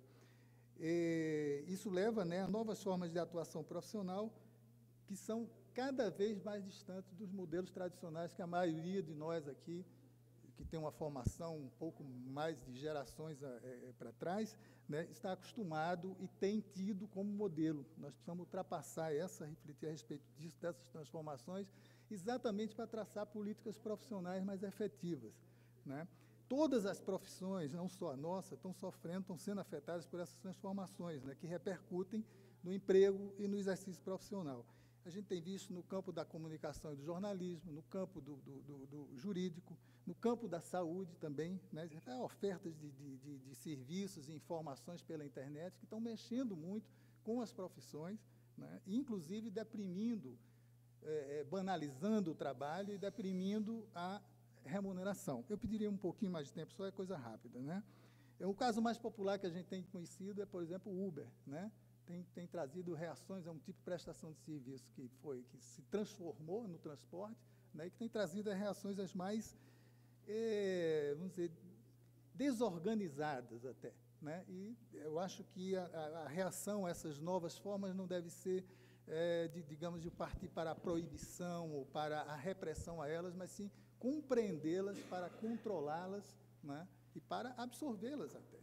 Né? 30 então, segundos, é, tá? Fundamentalmente, isso é uma reflexão para que, a gente estabeleça essa compreensão, esse entendimento dessas transformações para traçar políticas profissionais. Eu tenho um trabalho já avançado a respeito disso, obviamente não tenho tempo para apresentá-lo aqui agora, uhum. e não, também não gostaria que fosse uma coisa, um evento pessoal, mais coletivo. Por isso eu estou propondo a minha volta, na verdade, à CPP, né, sem prejuízo da, da pauta que, que está em andamento e muito bem conduzida pela, pela comissão atualmente. Perfeito. Obrigado. O colega usou quatro minutos. Eu pergunto se algum dos outros membros da comissão quer fazer uso também de quatro minutos para se manifestar. Colega Sanderla, então eu peço, vamos combinar então quatro minutos, tá, pessoal? Para haver isonomia, tá bem? Então, colega Sanderla, até quatro minutos, por favor. É, a comissão de políticas profissionais, ela, ao mesmo tempo, ela pode tem aquela característica de ser tão burocrática, mas tem essa questão da, da ação do próprio CAL, né? de valorização de políticas profissionais em relação à arquitetura e urbanismo.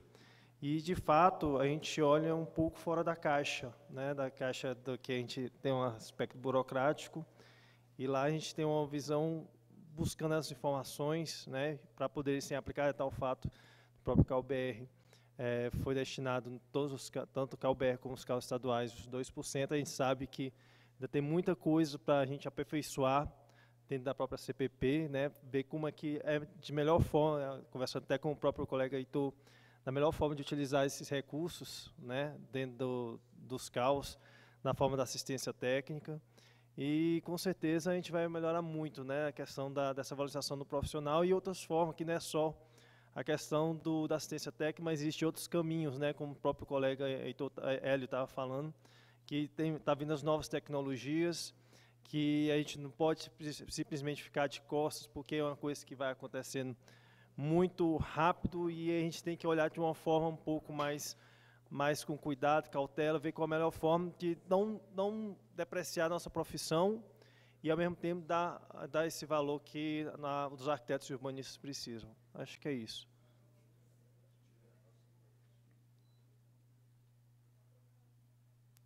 Obrigado, é, é, Sunderland. Pergunto os demais colegas, Wellington, Heitor, Rosiana, Manuel, se querem se manifestar. Colega Wellington.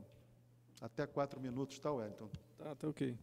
Bom, é, eu, como Conselheiro Federal, né, iniciei aqui em nós, é, na primeira gestão, em 2016, fui, fui coordenador, e foi um grande desafio. Né? Nós começamos com um seminário em Alagoas, eu acho que foi um pontapé inicial bastante favorável nisso, que nós tratamos sobre assistência técnica, que deu deu uma, uma grande visibilidade né, com o projeto Canema, chegando aí para o Fantástico, e, e, e, e, as meninas foram convidadas em vários, em vários lugares do Brasil para dar a, a palestra, e, vem, e nisso veio surgindo várias outras, outras atividades né, é, em nosso Brasil. Né. A comissão, durante esse período, também não ficou fechada só na, na no, no Conselho, conseguiu ter uma, uma ideia de, de, várias áreas no Brasil que está tá sendo desenvolvida, a, questão da assistência técnica. É, nós temos muito ainda a, a, a progredir, a, a, ainda aprimorar essa atividade. Né? Bom, em Alagoas nós tratamos vários temas, assistência técnica, a questão do, do, do escritório também nós, nós, tratamos, nós levamos também a discussão lá sobre o, um arquiteto em, em cada município, né?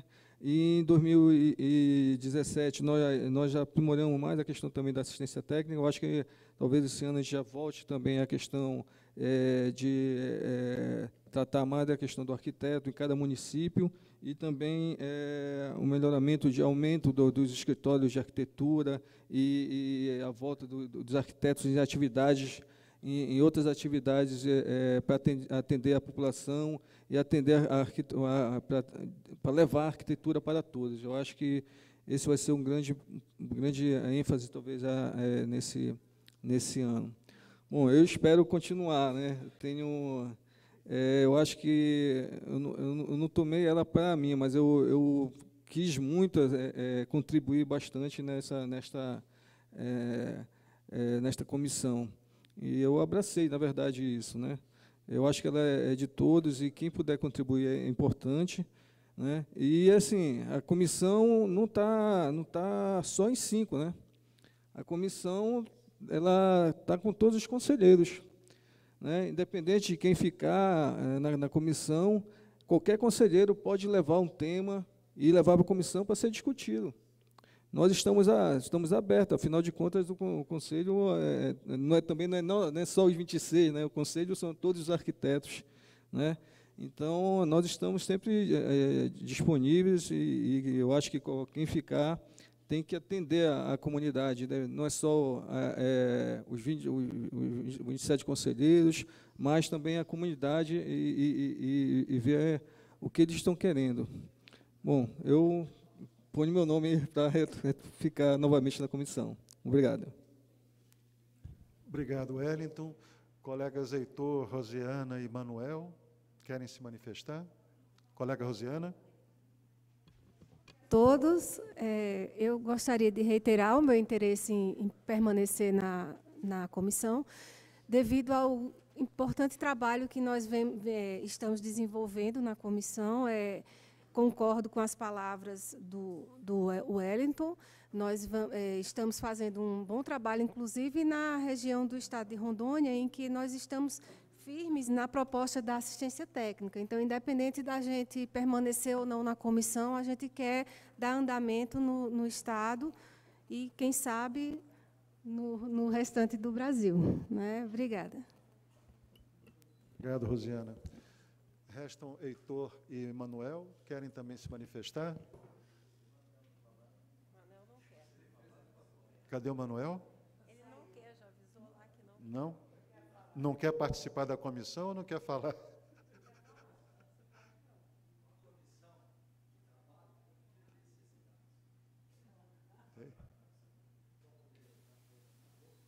Alô? Bom, é, da minha parte, é, as palavras que foram ditas aqui, eu faço minhas palavras do pessoal, e, e acredito que temos, temos aqui um, um trabalho esse ano que eu participei, achei assim de que tem realmente é, muito a, a fornecer para os, para os profissionais na fala de que a gente é, fazer com que esses profissionais recém-formados também possam abrir um campo de trabalho nessa área de, das habitações de interesse social. É um, é um trabalho grande, principalmente essa parceria com a Caixa Econômica, que nós estamos lutando junto aí, e creio que para esse ano promete muito com, com as ações que vamos fazer para o ano de 2017. Acredito que só posso contribuir para esse, para esse, para esse grupo e realmente é, é muito importante a continuação do nosso grupo também junto. Obrigado. Obrigado, Manuel. Então, Heitor, por gentileza. Me sinto obrigado. Bom, os colegas é, que me conhecem já desde a primeira gestão é, sabem muito bem que, particularmente, nunca fiz questão nenhuma de participar de uma comissão. Tanto é que já participei da, da comissão de ética, já participei da, da CEF e agora estou participando da CPFI. E, particularmente, não teria problema nenhum em abrir mão para o, o, colega, o colega Hélio. Mas, assim, os colegas também sabem que eu tenho um compromisso com a minha suplente de é, dar uma chance dela também participar da vida do Conselho. Então, temos feito um esforço muito grande de não haver a concomitância de presença. Quando ela está aqui, eu não estou.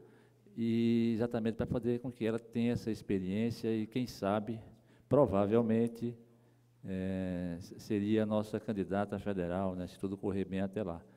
Então, assim, de minha parte, é, se fosse só, é, assim, eu tivesse, é, assim, me posicionar sobre a, minha pessoa, a minha posição do conselheiro, eu abriria mão tranquilamente, sem problema nenhum. Mas é, eu não posso abrir mão em função dos compromissos que eu tenho com a minha suplente. Obrigado, Heitor. Bem, colegas, então, lembrando o procedimento, todos já se manifestaram, né?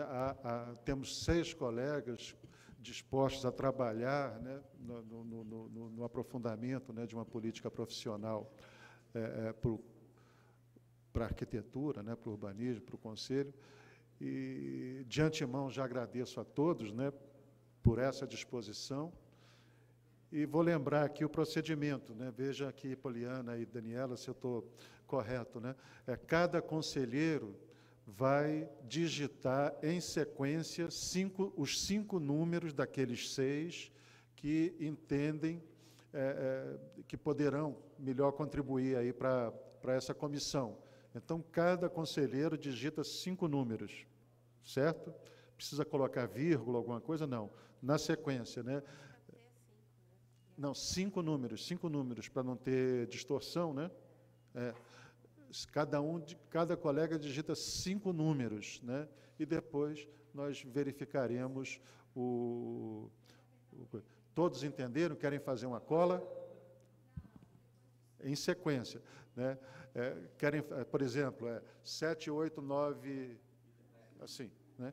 Bem, é, alguém quer fazer uma colinha? Como é que é? Podemos partir diretamente? No final apertem Enter, tá bem? No final apertem Enter. Então, põe o painel lá, por favor. É. Então tá ali, estão ali os números, né? Então cada colega digita uma sequência de número e aperta o OK. Tá bem? Então, em regime de votação, por favor, digitem seus números.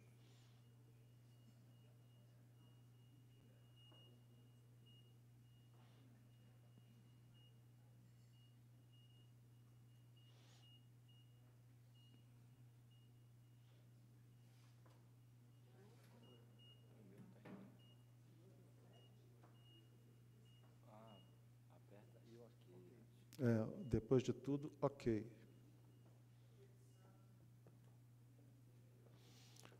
São Paulo.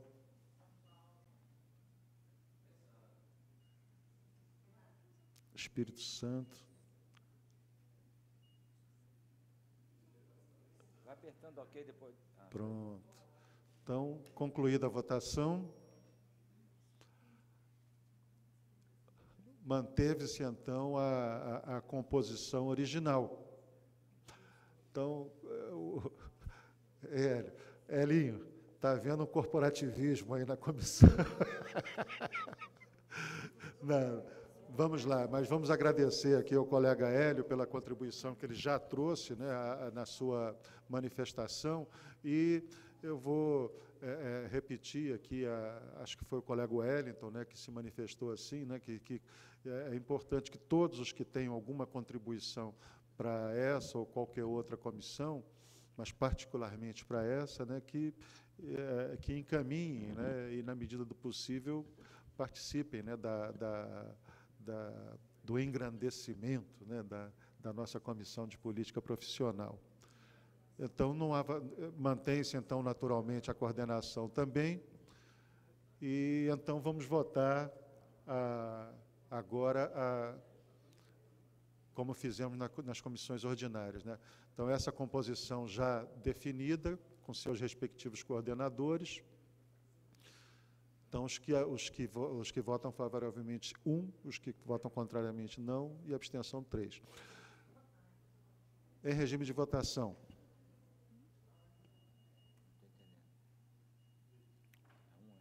É um. Votem um.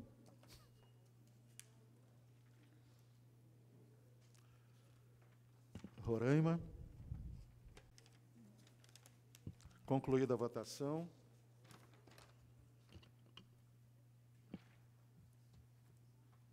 Então, aprovado também por unanimidade dos colegas. Agradeço mais uma vez todos os que se dispõem a trabalhar aqui pelo Conselho. Vamos agora ao, à Comissão Eleitoral Nacional. Para concluir essa etapa, esse, desse item, é, comissões.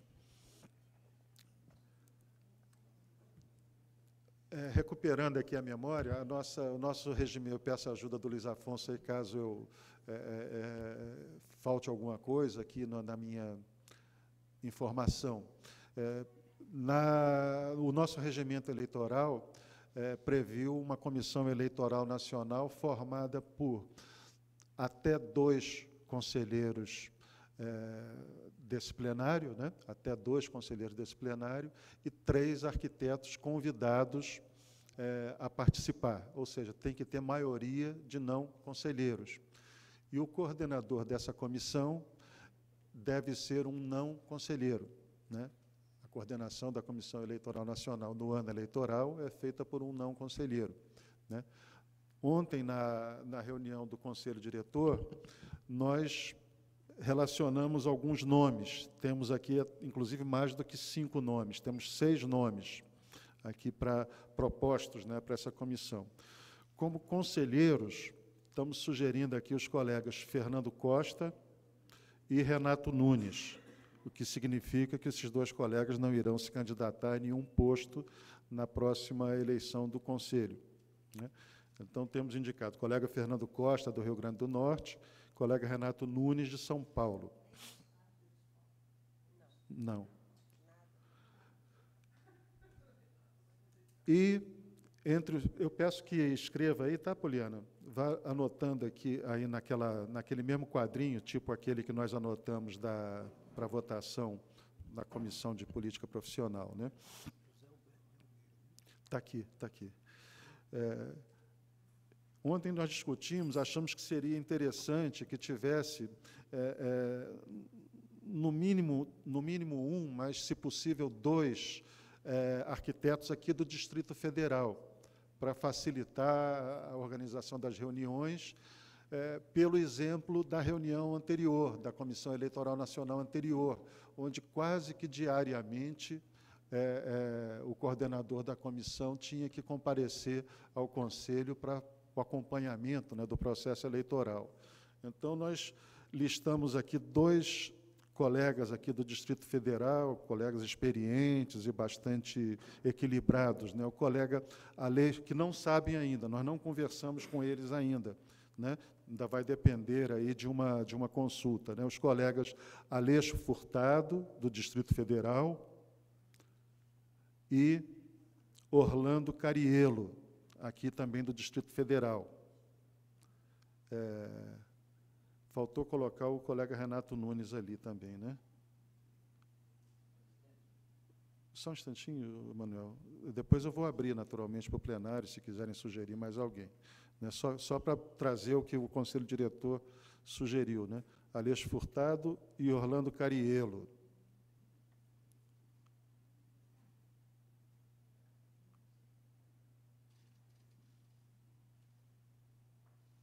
Travou?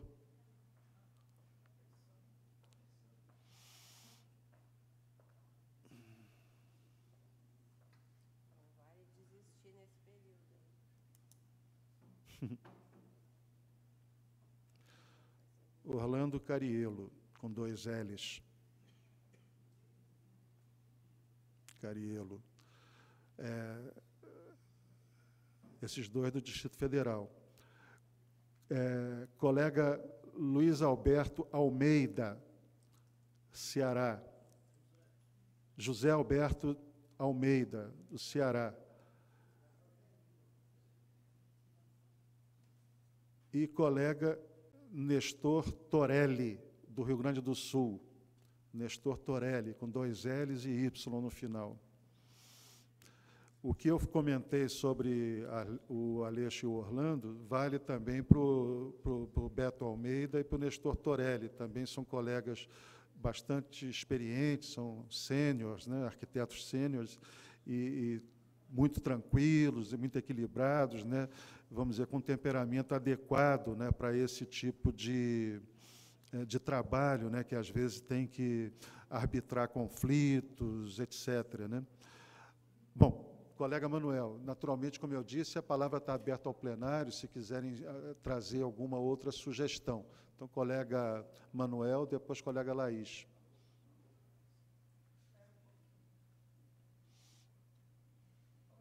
Alô?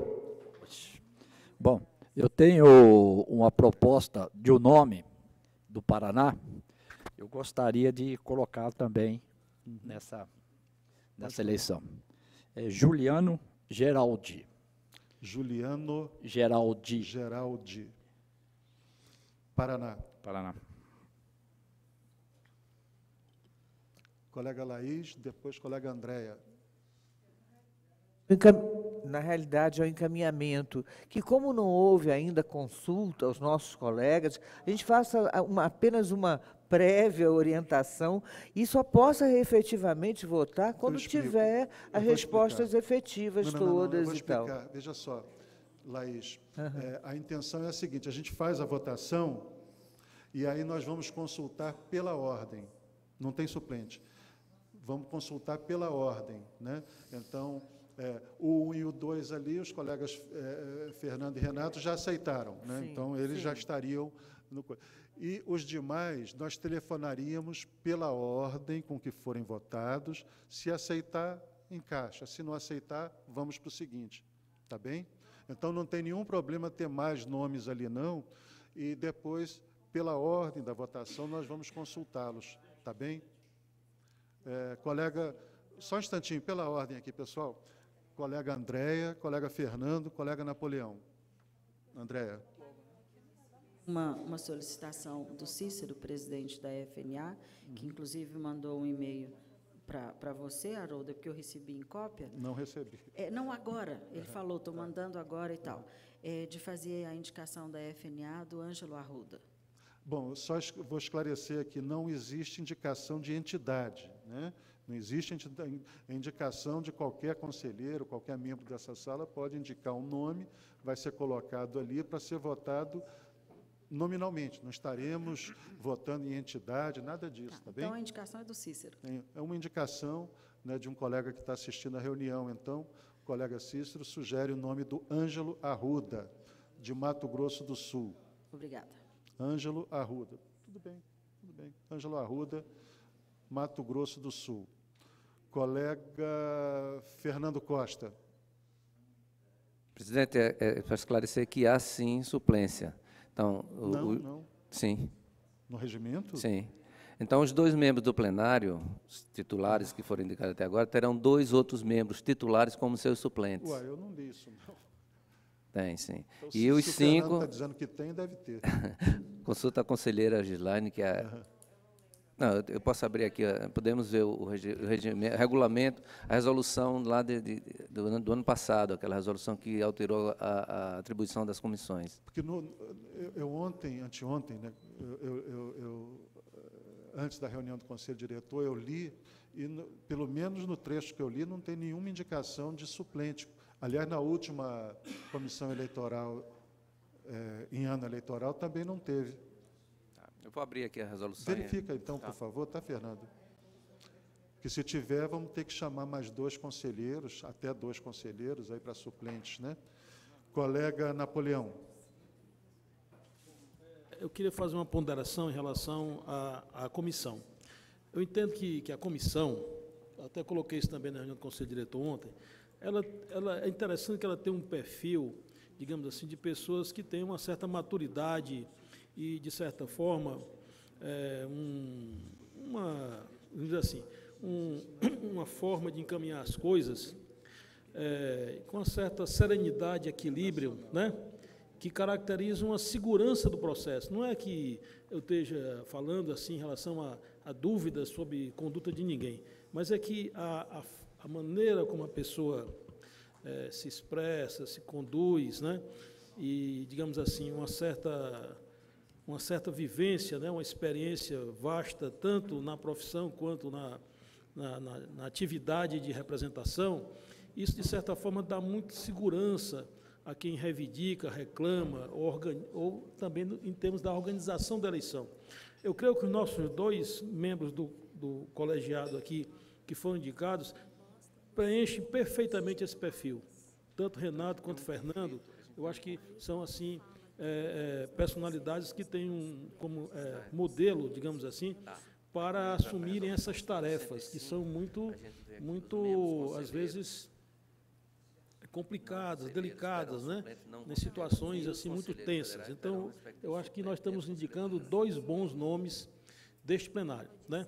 Eu queria eh, aproveitar essa oportunidade, presidente, para apresentar um pouco assim o nome que foi indicado, que me veio assim, eh, assim na própria reunião do, do colegiado do, do, do conselho diretor, do colega José Alberto de Almeida, o Beto. Não sei se todos aqui conhecem o Beto. O Haroldo, com certeza conhece, né, Haroldo? Deixa aí que ele está muito ocupado e Sim, mas não revogou a outra. não vou. Sei lá, fica lá, doutor Medeiros. Não, você está falando... Não sei, eu estou querendo dizer quem ele é. Mas eu estou querendo aqui contar um pouco com. Tá bom. É um esclarecimento. Já terminou? Não, eu ia falar, inclusive, eu ia lhe fazer uma referência ao seu conhecimento em relação ao Zé Alberto de Almeida, né? que você conhece muito bem. Nós que participamos do IAB há muito tempo, o Renato Nunes também conhece, pode estabelecer alguma recomendação.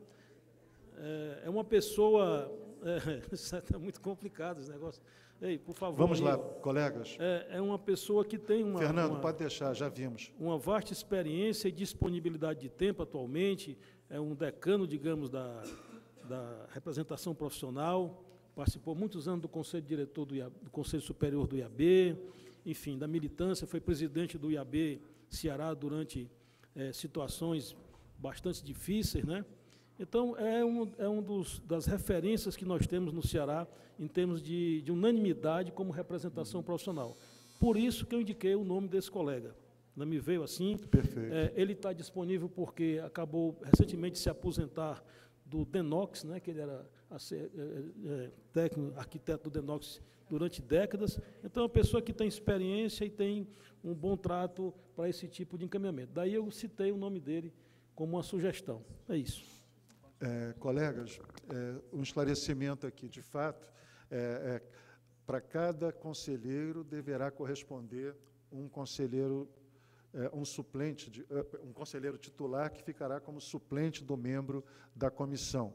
Para cada conselheiro deverá ter outro conselheiro. Então eu já apelo aqui para mais dois conselheiros que, é, é, que queiram participar, né, que se disponham a participar, lembrando que quem participa da comissão eleitoral não, não pode se candidatar, né, obviamente. Né. É, então, e precisaremos também de, é, é, é de não três, mas seis é, é, não, não conselheiros, né? mas seis não conselheiros, não apenas três. Colega Manuel. Presidente, eu só gostaria de, de salientar. É, não, é, é, cada um corresponde um.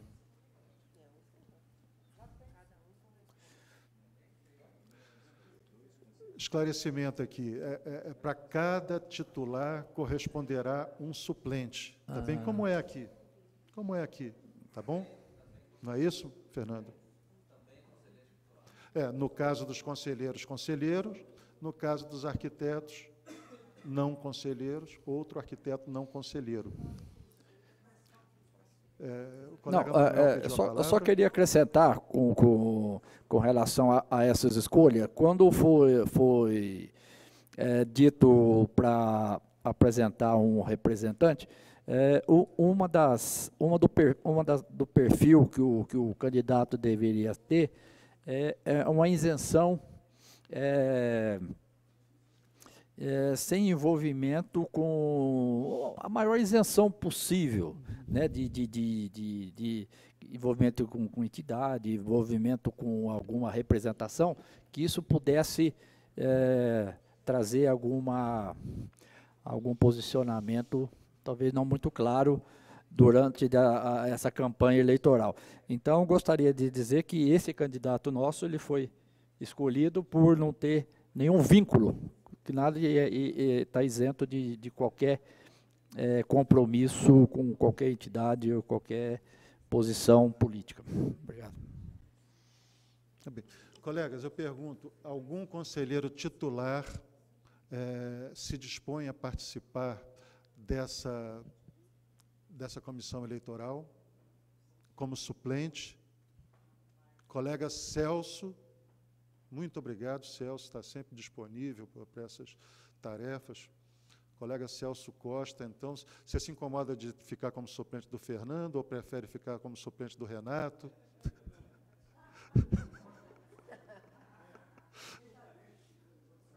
Costa e Costa. Né? Na ausência de um Costa, outro Costa estará presente.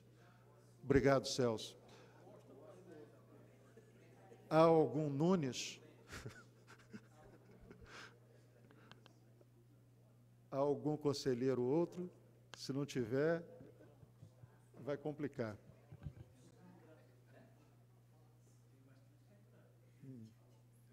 Estou hum. vendo que é, todos vão se candidatar, olha só.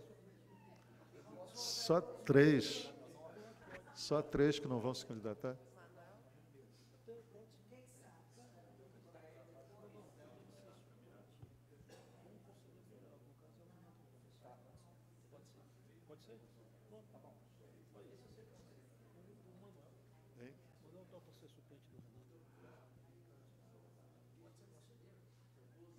Tem que ser o suplente, os outros não. Você está consultando aí?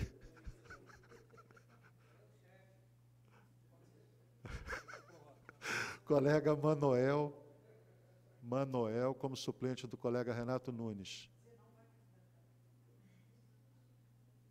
Manoel. temos ali, então, é, dois, quatro, seis. É, alguém quer lembrar mais um não conselheiro? É, mas alguém quer lembrar de mais um? Porque eles vão ter que ser consultados ainda, né? É, eu me lembrei de um colega aqui que talvez que está nesse, nesse perfil, né, que tanto eu quanto Napoleão comentamos, que eu posso sugerir aqui, um outro aqui do Distrito Federal, é, o Zé Carlos Córdoba Coutinho, José Carlos Córdoba Coutinho. Certamente, o Moraes também sempre se dispõe, né?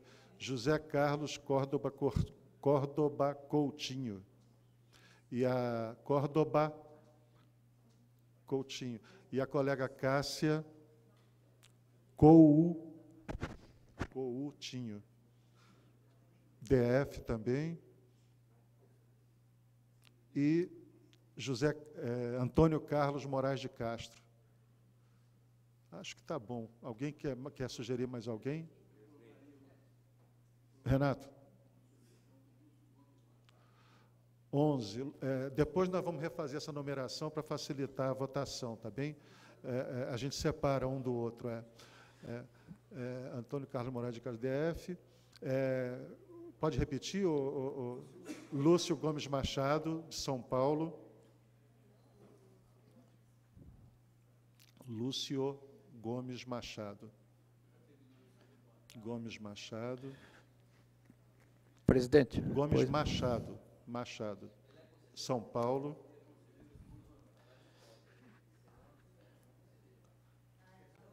Ele não é conselheiro federal. Né?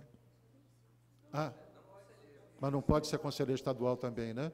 Tá bom, então vamos tirar para não ter dúvida, tá, o, o, o, o Geraldine? O nome do nosso ex-colega de plenário, o Rodrigo Capelato, do Amazonas, que foi da outra comissão eleitoral anterior, que também está sempre Perfeito. disponível para contribuir. Capelato. Rodrigo Capelato, Amazonas. É, ele está atualmente no Rio Grande do Sul, né, mas é do Amazonas, né? Sim. Eu, eu, gostaria de retirar meu nome de suplente do Renato, que, ah. que eu provavelmente eu vou concorrer, concorrer ao estado lá do, do, do suplente lá. Pô, esse telefonema aí atrapalhou a gente, hein? Pô. Então, apelo novamente aos colegas aqui. Maria Laís da Cunha Pereira. Maranhão.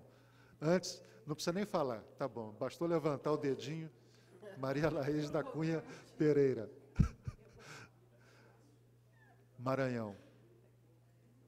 Obrigado, Laís. Tá bom assim, então? Então, é, é, vamos fazer o seguinte, é, o Poliana, monta aquela... É, é,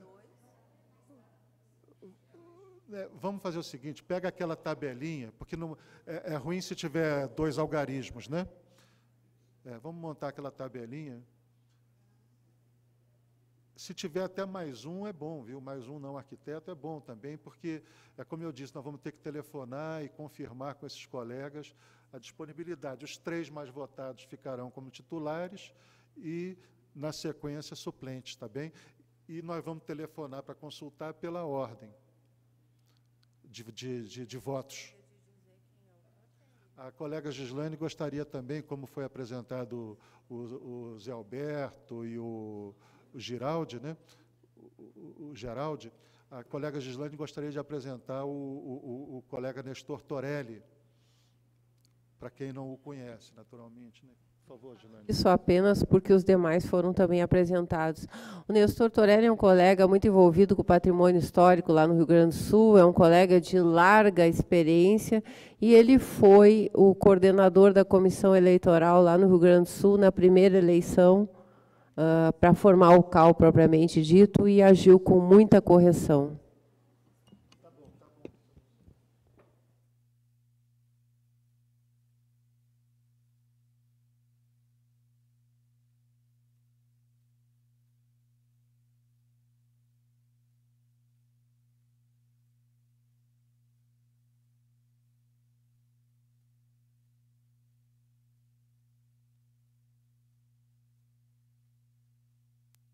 Os três mais votados é, serão inicialmente consultados e depois vamos consultando na sequência, tá bem?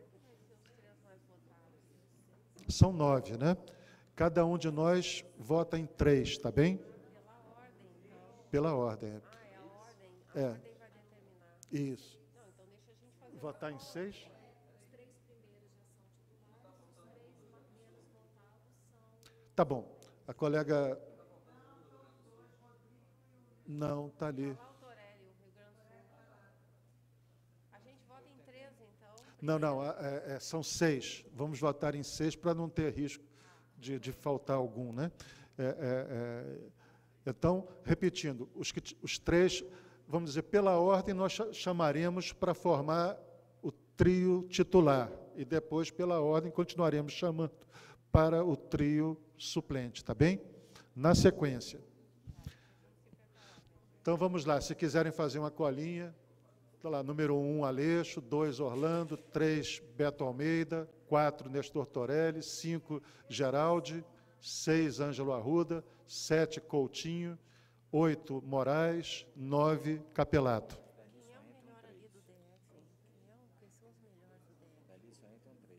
Todos são bons, todos são bons. Tanto faz, o que você simpatizar mais.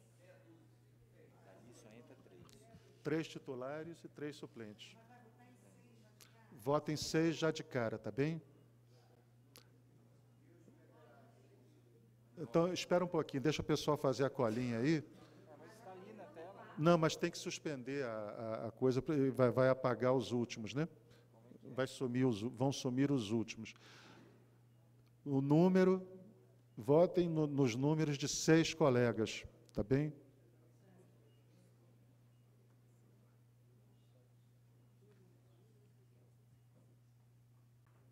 Combinado? Pode abrir o painel? Ainda não? É, foi meu professor, foi presidente do IABDF, é um cara bacana.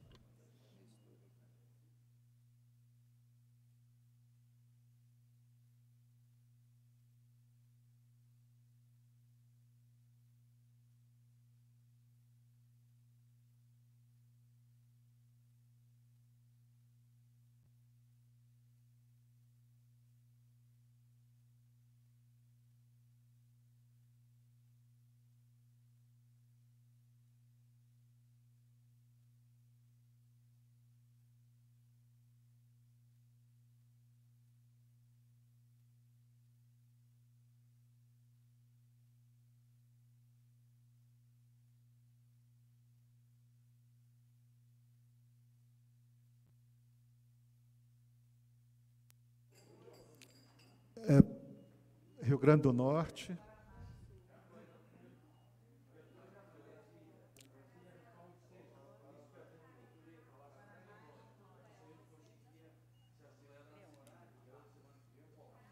Falta, desculpe, falta o Rio Grande do Norte, se eu não me engano, né?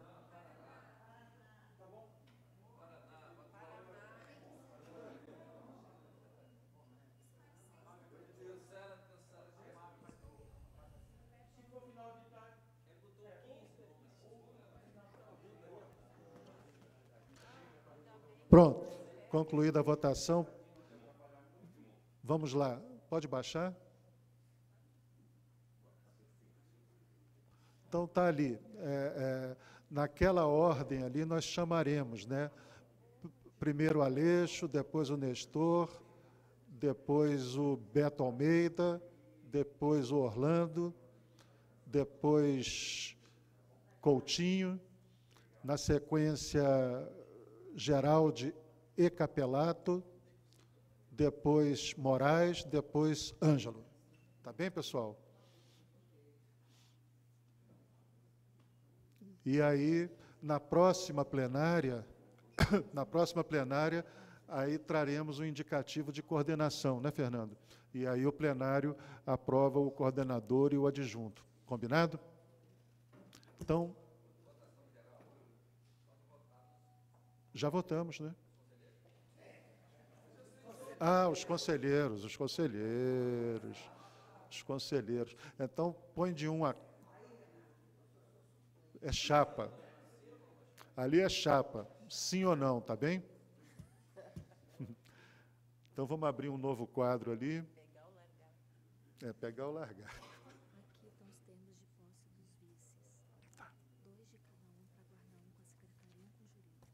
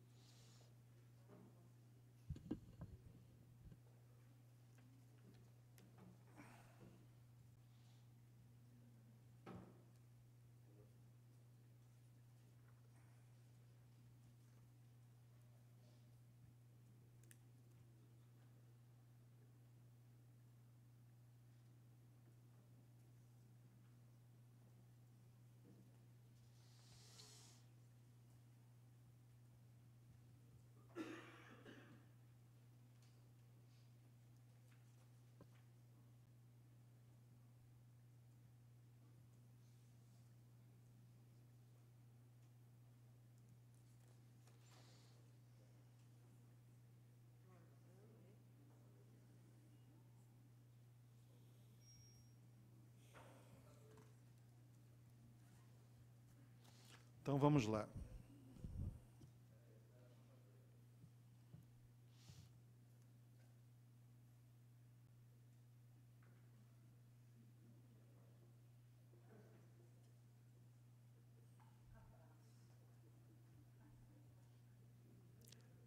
Então vamos lá. Aí, como os colegas já estão acostumados, né?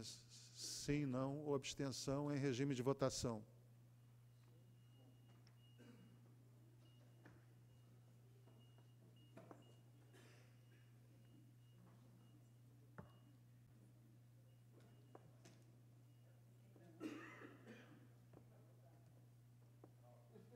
Tocantins.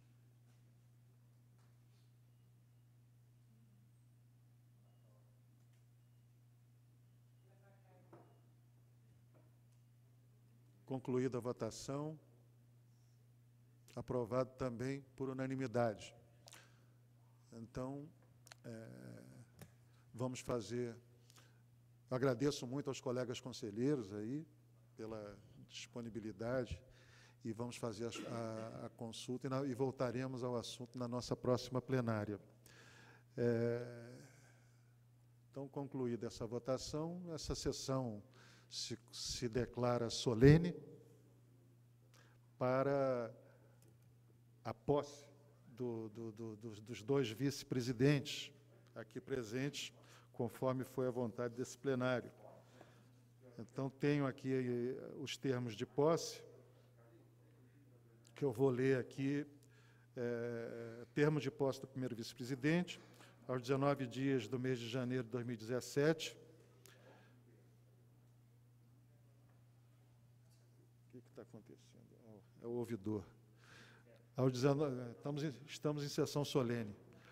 Aos 19 dias do mês de janeiro de 2017, estando reunido o Conselho de Arquitetura e Urbanismo do Brasil em sua 62ª reunião plenária ordinária em Brasília, Distrito Federal, presidindo a mesa dos trabalhos para esse ato específico o presidente Haroldo Pinheiro Vilar de Queiroz e atuando como secretária da mesa e secretária-geral da mesa Daniela Demartini de Moraes Fernandes, tomou posse no cargo para o qual foi eleita, eleito para um mandato que se inicia nessa data e se encerrará em 31 de dezembro de 2017, o seguinte conselheiro. Como primeiro vice-presidente do CAU Brasil, o conselheiro Anderson Fioretti de Menezes, brasileiro, arquiteto urbanista, portador da carteira de identidade número 754793, expedida pela SPT Espírito Santo, com CPF número, isso é importante, CPF número 001 741 117 38, residente domiciliado em SHTN, trecho 2, lote 3, bloco J, apartamento 209, em Brasília, DF, CEP 70 800 230. Brasília, 19 de janeiro de 2017. Eu já assinei, peço ao colega Anderson que assine em duas vias. Aqui.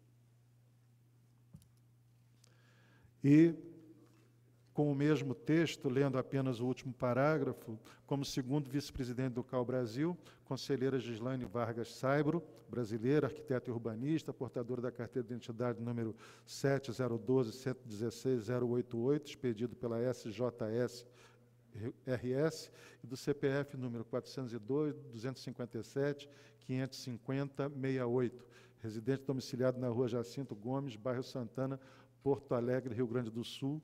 Eu já assinei, passo aqui a colega Gislane também para assinar em duas vias, por favor, Gislane.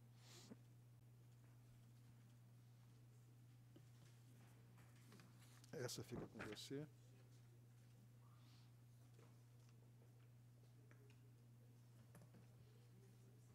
Então, estão empossados nossos vice-presidentes, nossos cumprimentos e agradecimentos, colega Anderson, colega Gislaine. Muito obrigado. São meio-dia e cinco, então podemos suspender a sessão e retomamos às 14 horas, tá bem? Quem cala consente. Da CEF permanecerem uns minutinhos aqui antes do almoço, por gentileza.